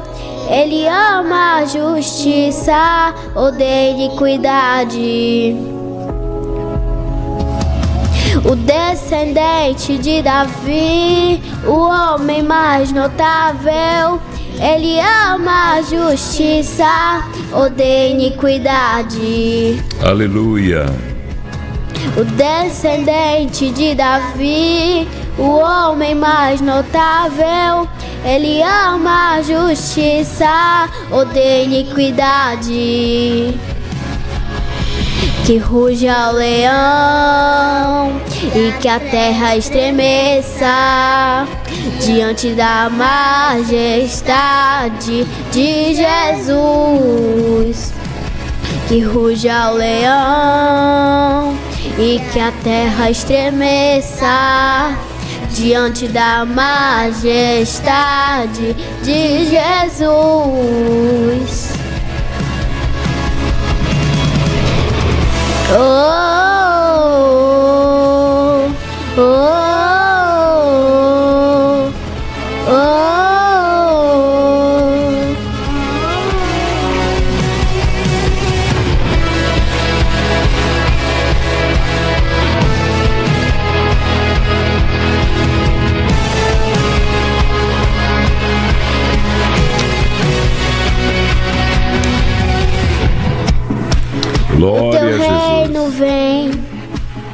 nossa fé está no nosso Deus. Que se abram os céus e o teu reino vem. Nossa fé está no nosso Deus. Que se abram os céus o teu reino vem, nossa festa no nosso Deus. Que se abram os céus e o que o teu reino vem, nossa festa no nosso Deus. Que lindo. Que os céus fechados se abram. O teu reino venha mover a nossa fé e esperança estão em Deus, grande Deus. Que os céus fechados se abram, que o teu reino venha mover a nossa fé e esperança estão em Deus, grande Deus. Que os céus fechados se abram, teu reino, teu reino venha mover. A nossa fé e esperança estão em Deus, grande Deus. Que os céus fechados se abram, teu reino venha mover. A nossa fé e esperança estão em Deus, grande Deus. Oh, oh, oh. Aleluia, Jesus.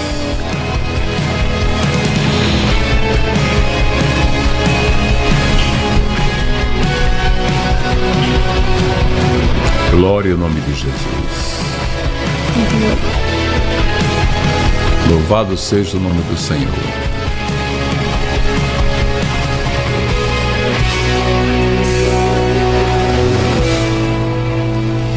Que maravilha, que coisa linda, coisa fofa, né? Deus abençoe. Deus abençoe, viu? Muito bom receber vocês aqui. Tá bom? Venha mais vezes, tá certo? Que Deus abençoe vocês. E aí nós vamos de vez em quando trazer vocês aqui para vocês participarem. Outras crianças também, né? Verdade. É verdade. E tá disposta mesmo a fazer o programa? Tô sim, tô sim. Onde Deus me colocar, eu tô dentro. Eita glória! Essa é missionária mesmo, viu? Onde Deus me colocar, eu estou dentro. Estou aqui para fazer a obra. Não é assim? É assim Você mesmo. tem, você tem quantos anos? Eu tenho um 11. E ela? Tem seis. Seis aninhos. A Lavínia tem seis aninhos e ela tem 11 anos. Que maravilha. Vocês não brigam em casa, não? Às vezes? Às vezes. Só às vezes. Aí vocês, quando brigar, uma fala pra outra, ei, nós somos crentes, viu? Minha mãe dá os cocorotes. Dá mesmo? Briga. Mas a gente se ama, né, Lavinho? A gente parou de brigar. A gente tá Graças a Deus. Nós estamos parando devagarinho, vamos parar de tudo, né? Lavínia, quando você, você que é mais novinha, quando ela brigar, você fala, ó, nós somos crentes. Jesus não quer os filhinhos dele brigando. Tá certo? Tá, deixa eu dar um cheiro para vocês irem.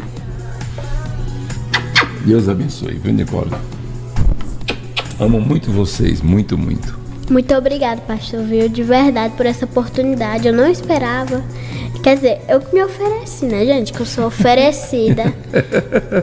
Muito obrigado, viu, pastor? De verdade por ter me recebido muito bem. Deus abençoe o senhor grandemente. Amém. Ó, e eu tô disposta, viu, a fazer mesmo. Não vai fazer. Pastor, eu também quero. Também quer fazer? Pô, quer participar Já do programa? Já participar? já desse tamanhozinho eu quero. É mesmo? Quer participar do programa? Depois eu. Deixa eu ver aqui. Olha. Essa... Pastor morre de ciúme dessas ovelhinhas. Mas eu vou dar essa aqui pra você, olha. Obrigada, pastor. Viu? É bom pra você já. já- Cuide bem que dessa ovelha, que ele tem ciúme, viu? Eu tenho ciúme, olha. eu Vou dar essa outra pra você, você botar lá no seu. Nossa, pastor, obrigada. Ai, que fofa. Parece o senhor.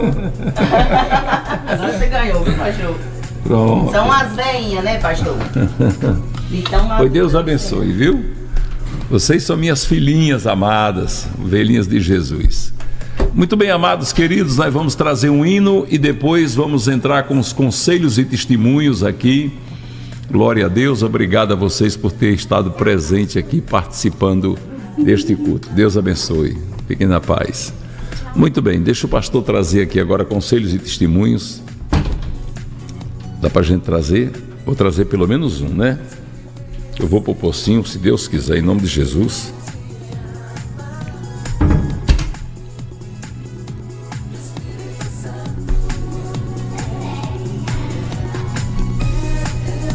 Tem um pedido de conselho aqui. Tem vários, muitos. Vamos ouvir esse aqui, amados. Conselho em áudio para nós direcionarmos uma palavra. A paz do Senhor, pastor Chico Chagas. Paz, querida. Eu aceitei Jesus através dessa rádio. Que benção. Eu estava num problema muito sério no meu casamento, aí eu abri meu telefone e de repente eu entrei no YouTube, apareceu o pastor Chico Chagas e eu cliquei em cima e gostei da pregação, isso já tem uns quatro anos. Eu sou pão da vida à distância, que eu assisto os cultos no lar todos os dias. E eu, através da pregação, eu falei, não, eu vou ter que buscar Deus, eu vou ter que ir para a igreja. Aí eu comecei a ir para a igreja, levei meus filhos comigo. E graças a Deus, hoje passou aquela tempestade, Deus me tirou do deserto. Hoje minha casa, eu posso dizer, eu e minha casa serviremos ao Senhor. Tá, meus filhos, tá, o meu marido, nós estamos todos na igreja. Só que a, nós, eu estava fora do Brasil, né? Aí agora eu estou no Brasil. Só que lá na igreja onde nós congregava, nos Estados Unidos, a- os costumes eram diferentes. E aqui no Brasil eu estou tendo um trabalho grande com os costumes da igreja. Eu estou na Assembleia de Deus, só que eu tenho uma filha de 15 anos. E essa menina, ela louva muito, ela gosta muito de louvar na igreja, ela tem uma voz muito bonita que Deus deu ela, ela tem um dom muito, um dom espiritual, que quando ela sobe no altar, que ela louva, não tem este que não, não sente a presença do Espírito Santo, só se não tiver na presença, mas se tiver, sente o toque do Espírito Santo. É uma menina que tem unção na voz. Só que lá onde nós congregava, não tinha problema de usar calça comprida e nem bermuda, short, que ela gosta de short. E aqui na igreja, o pastor não quer que ela usa. Já tirou, ela gosta de brinco. Ela não é menina que tem tatuagem, esse monte de coisa não, mas ela gosta de usar um brinquinho bem simplesinho na orelha, ela gosta de um cordão, ela gosta de um anelzinho no dedo. E aqui o pastor não quer que ela use isso. e ela é batizada, ela participa da Santa Ceia. Então ele não quer, ele falou que é pecado e que ela não pode continuar usando calça comprida, porque se ela continuar usando calça comprida, ela não vai poder participar da Santa Ceia.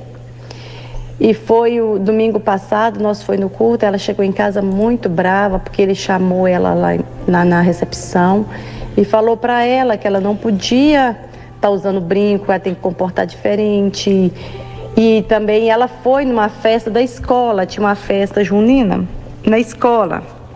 Ela queria dançar. Eu falei para ela: você não pode dançar porque você é evangélico, evangélico não dança. Aí ela falou: mas eu posso pelo menos ir porque eu preciso estar tá lá na festa, que é uma festa de escola. Eu falei: então pode ir. Só que ela temou muito, não queria deixar também não, pastor. Só que ela temou muito, eu falei: então vai. Aí o pastor chamou ela e falou muita coisa com ela, falou que ela não pode dançar, que ia disciplinar ela, que ela não ia vai participar da Santa Ceia, que ela não pode participar da Santa Ceia porque ela foi nessa festa.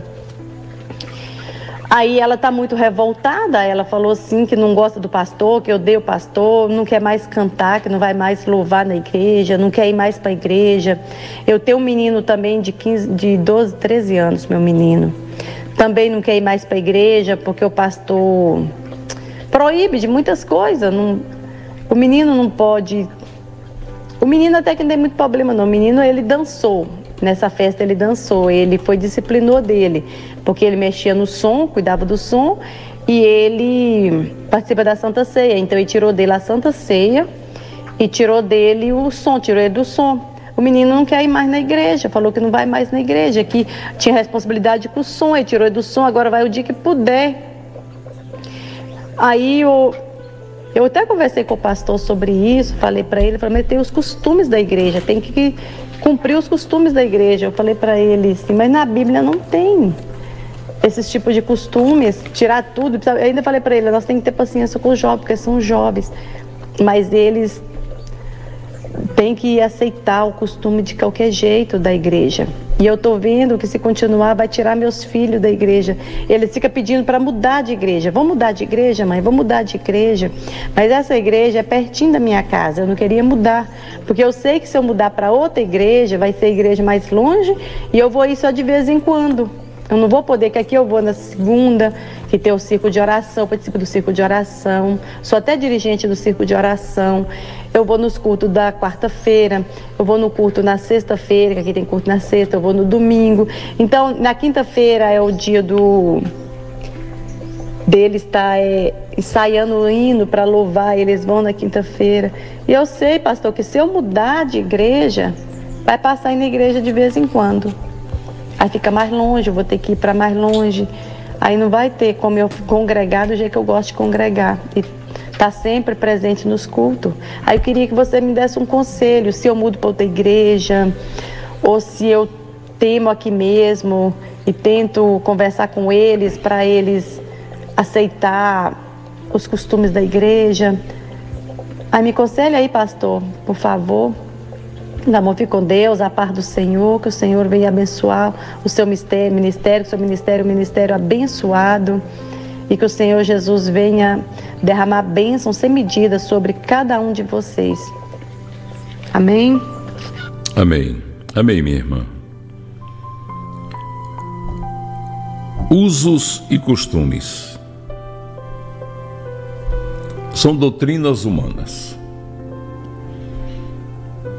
A mulher não pode vestir uma calça.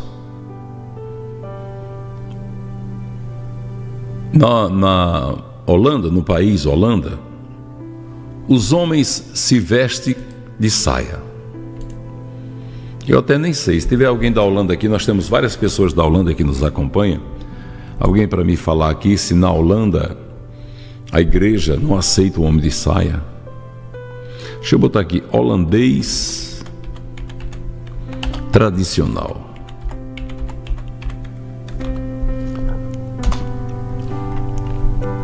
Irmãos, nós temos que entender que nós temos que entender que a, a doutrina é muito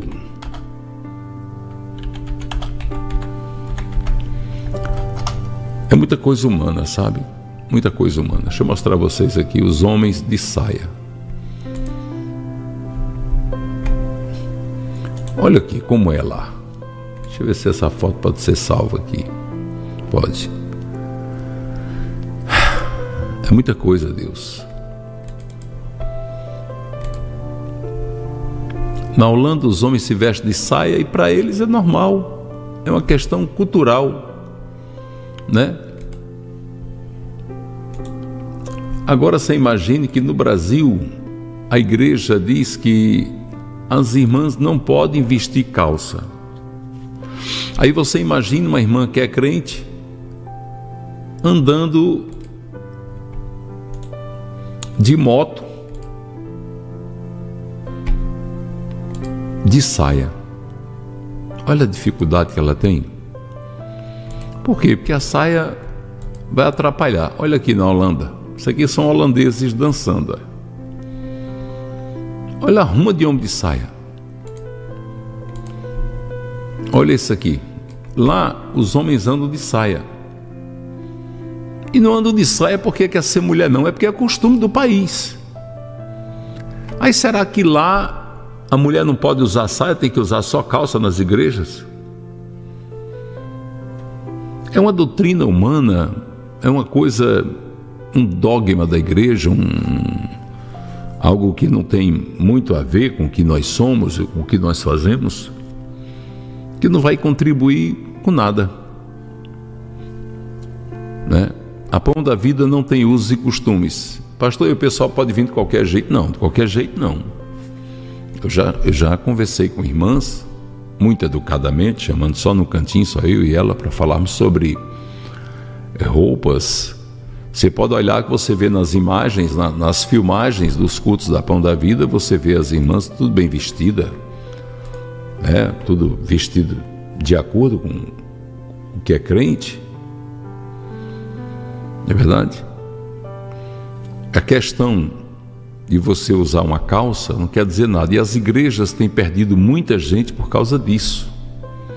Porque não quer aceitar um par de brinco, não quer aceitar um, uma gargantilha, não quer aceitar pulseiras. Embora as mulheres de Israel sempre usassem muitas joias, não eram poucas não, irmãos, eram, era muita joia.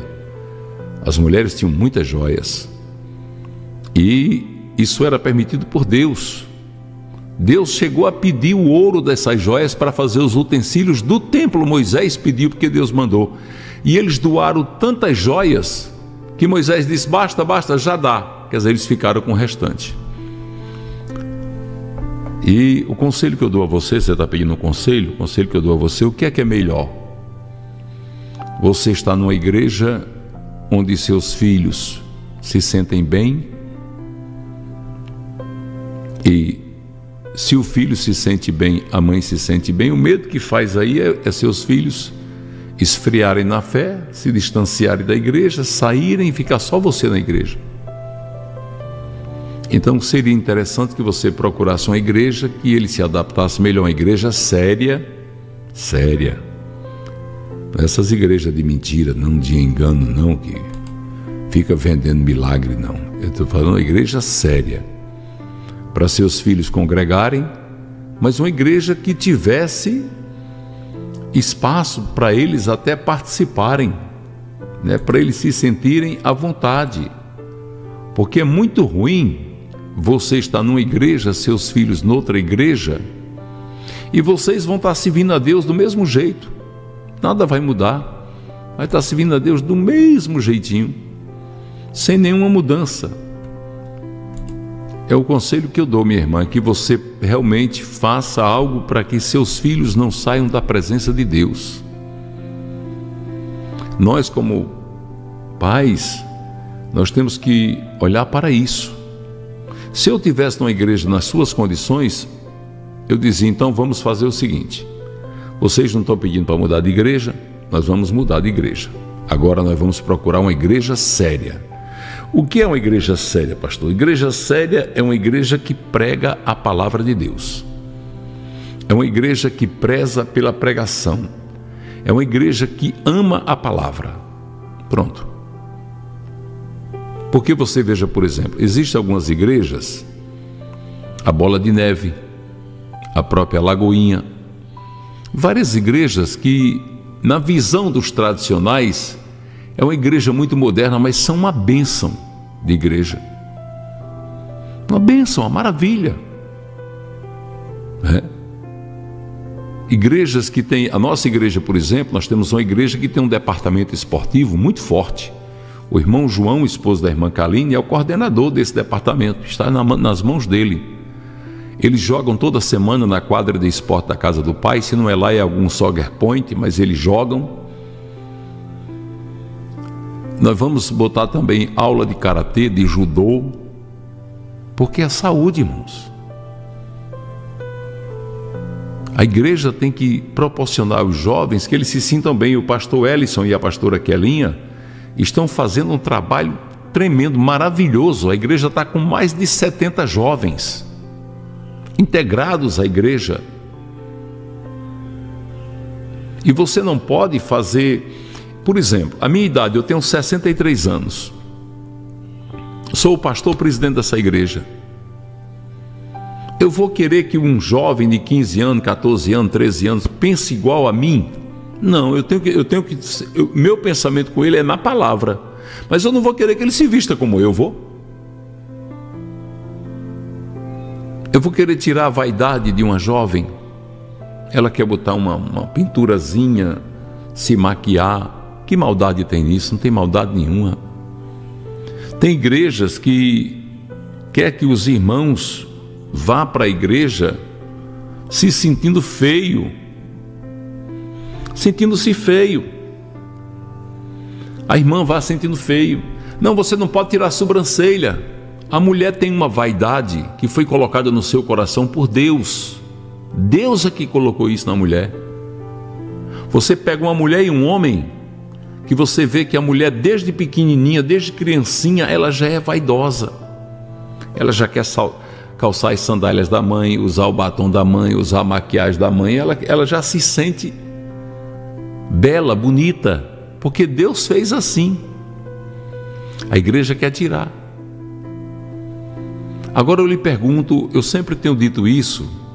Você já pensou uma mulher, você sabe que a mulher, pela sua vaidade, ela se arruma, se olha no espelho,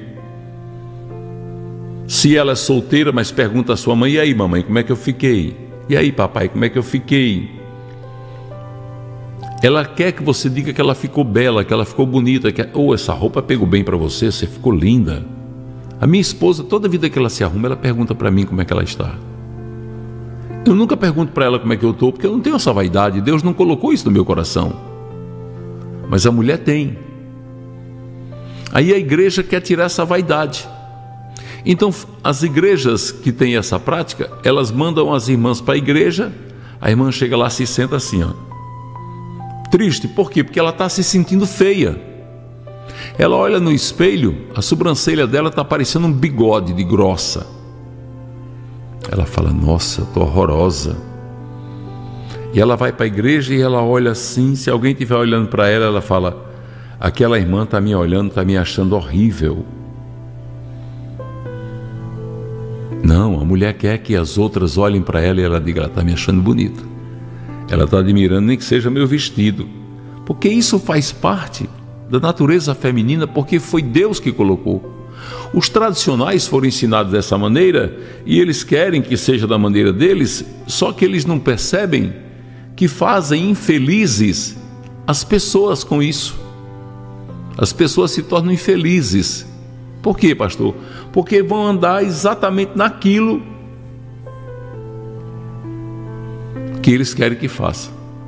Eu posso ser do jeito que outra pessoa quer? Não, eu tenho que ser do jeito que Deus quer. Eu sei que muitas pessoas não assimilam bem, não absorvem bem essa palavra, e pode até não estar aceitando essa palavra, mas é o que é verdade. É o que é verdade. Vai para o culto? Vou, vou me arrumar, vou bela. Bom, parabéns, tem que ir bonita mesmo. Para quem? Para seu esposo, para seu namorado. Se é solteira, vai para Jesus. E se é casada, vai para o marido e para Jesus. Deus, nosso Pai, quer lhe ver bonita, quer lhe ver feliz. Deus não quer você dentro da igreja se sentindo mal, não, feia, não. Você já pensou uma pessoa dentro da igreja se sentindo feia? Não, não pinta as unhas, não depila as pernas, não tira a sobrancelha, não pode cortar cabelo. Que história é essa? Não precisa disso, irmãos. O que foi que Deus disse? O que foi que Deus falou para Samuel na casa de Jessé, pai de Davi? Deus disse Samuel: Samuel, você vê a aparência, eu vejo o coração. A nossa, essa maneira da mulher se arrumar, ficar bonita, fazer uma chapinha no cabelo. Eu não entendo bem dessas coisas, não estou falando de chapinha porque eu escuto falar. Eu digo se arrumar. A mulher se arrumar. Vestir uma roupa que ela se sente elegante, se sente bonita, pegar sua Bíblia. Você vê que as mulheres gostam de Bíblias coloridas, né? A pastora gosta de Bíblia colorida. Bíblia é, é dela, eu gosto dela. Pega a sua Bíblia, botar debaixo do braço, sair bem bonita, bem bela para a igreja, sentar-se ali, adorar a Deus. Olha, olha a alegria como é diferente.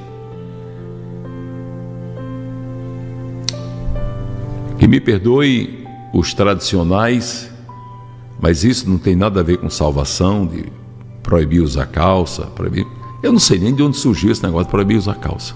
Sinceramente, eu, eu, eu não sei da cabeça de quem partiu, porque uma mulher vestida de calça, desde que seja uma calça decente, ela está mais bem vestida do que de saia. Porque ela sai de saia, dá uma ventania, riba a roupa dela, mostra as calcinhas dela. É ou não é verdade? Se ela vai de moto, é uma ah, Eu vejo muita mulher andando de moto assim, com a roupa presa no meio. Você vê que ela anda constrangida. Não, meu irmão.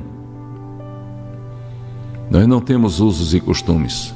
O nosso uso e o nosso costume é aprender a palavra de Deus e fazer aquilo que agrada a Deus. Eu discordo disso. Eu já fui de igreja que tem uso e costume, pertencia a uma igreja muito rígida, tem usos e costumes, e eu nunca concordei. Porque aquilo ali, se você está lá, não, eu estou nessa igreja, então você está lá, estou, então você tem que fazer o que a igreja manda. Você está lá, você tem que fazer exatamente aquilo que a igreja está mandando você fazer. Vamos trazer mais um conselho, irmãos.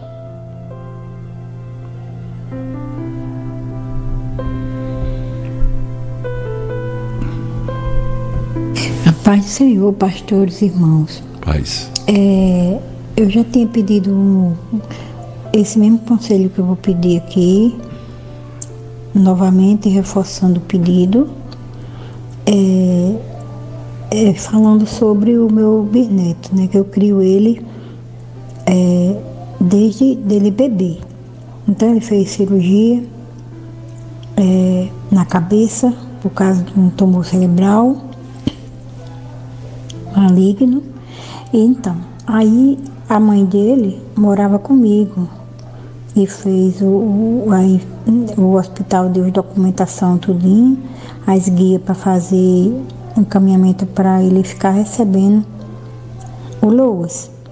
Então, aí como é a mãe, eu não tinha a guarda na época, é, ela ficou recebendo.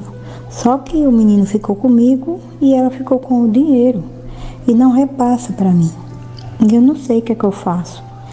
É, há pouco, vai, é, fez 30 dias que o meu bisneto Guilherme, ele fez outra cirurgia porque foi detectado um cisto, mesmo lugar não, onde ele tirou, onde eles tentaram tirar o, o tumor, mas não conseguiram tirar tudo. Então, no mesmo lugar surgiu o cisto. E ele foi operado, tá? Com, fez 30 dias, dia 5. Então, o o, o doutor falou que é, fez todo o procedimento, né? A cirurgia foi menor do que a primeira, mas ele ainda está se recuperando. É, e aí, mas os gastos ficou comigo, pastor, os gastos ficou comigo. Eu não consigo pegar 10 reais para ela me passar esses 10 reais para me ajudar. E eu tenho gastado muito, muito, muito. Se eu tivesse mais, gastaria sabe? Eu, é porque meu marido trabalha ganha pouco, não ganha tanto, porque quando é coisa de remédio assim, que é, os médicos passam, são remédios caros. Eu queria saber o que eu devo fazer, pastor. Ou pedir a Deus, ficar esperando em Deus. Ou se o senhor me aconselha, eu, eu ir lá no INSS, mandar cancelar esse, esse dinheiro para ela não receber. E depois eu fazer é, é, um, um, chamar um advogado para para poder o advogado me orientar o que eu fazer para poder eu requerer de novo, né? O, o, o doce para ele, né? Para ele receber, porque eu fico pensando assim, né? Hoje eu estava pensando, meu Deus, é, a gente nunca sabe quando Deus vai recolher a gente, né, pastor? E eu, eu, a minha preocupação é essa, né? No dia que eu faltar, e o meu marido, como que será da vida dele, né? É, é, é só isso que eu queria que o pastor me orientasse. Muito obrigada, fica vocês todos com Deus. Amém, querida. Uma das grandes preocupações é, dos pais é exatamente isso aí que ela acabou de dizer, né? A preocupação de, ao partir da terra, deixar aquela pessoa numa situação difícil. Eu pensei isso muitas vezes na minha vida. Hoje não, meus filhos estão todos criados, tudo tem vida própria. Mas eu pensei muito isso quando eles eram pequenos, né? E você tem razão de se preocupar. A melhor coisa que a gente faz é preparar os nossos filhos, nossos netos, para enfrentar a vida. Porque ser pai e ser mãe não é dar de, dar de tudo, é ensinar a sobreviver. É como a senhora disse: se um dia a gente faltar, como é que vai ser? Se um dia a gente não estiver aqui, como é que vai ser? Entendeu? Então, essa preocupação que a senhora tem é mais do que justa. Eu tive muito essa preocupação no passado, né? Muito. Agora mesmo eu perdi meu neto com 29 anos, deixou o filhinho dele com menos de 4 anos, o Lourenço.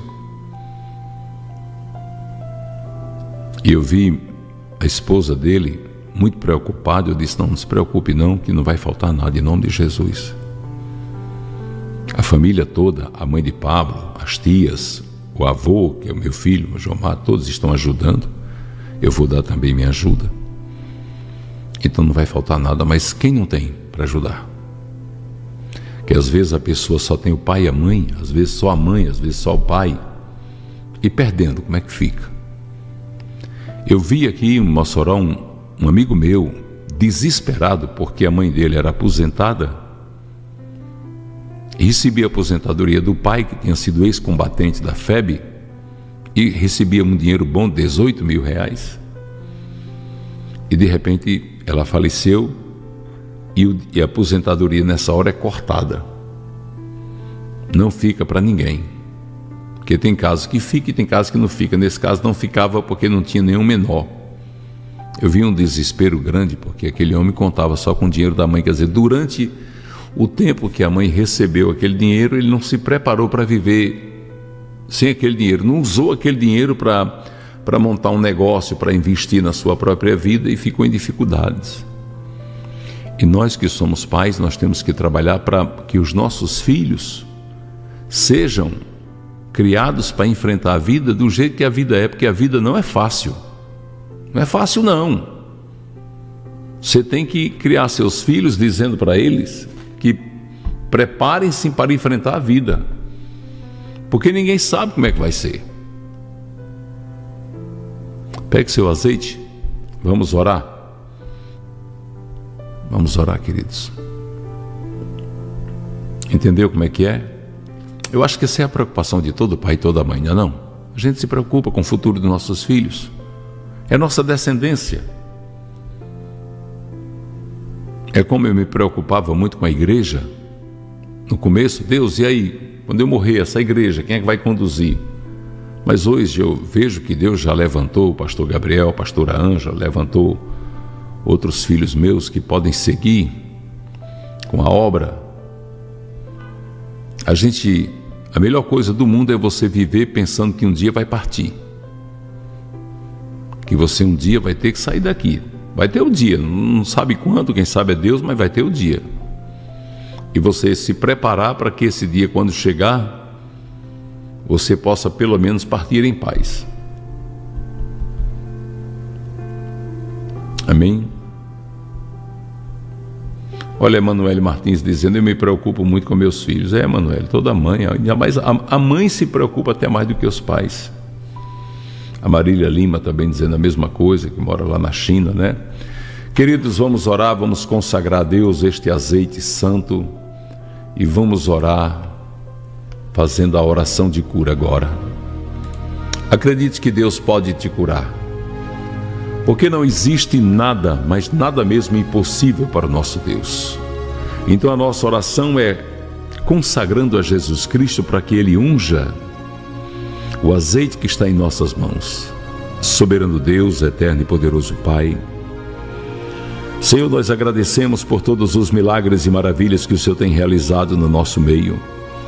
Pedindo, Pai querido Deus amado, a tua santa e maravilhosa proteção, o teu olhar misericordioso. Aqui está o azeite santo, óleo da unção em minhas mãos e nas mãos dos irmãos e irmãs no Brasil e no mundo, Deus, e nós consagramos a Ti, meu Pai. Jesus, estende agora a tua mão santa, soberana e poderosa sobre todo este azeite e derrama, Deus, a tua unção para curar, para repreender todo mal.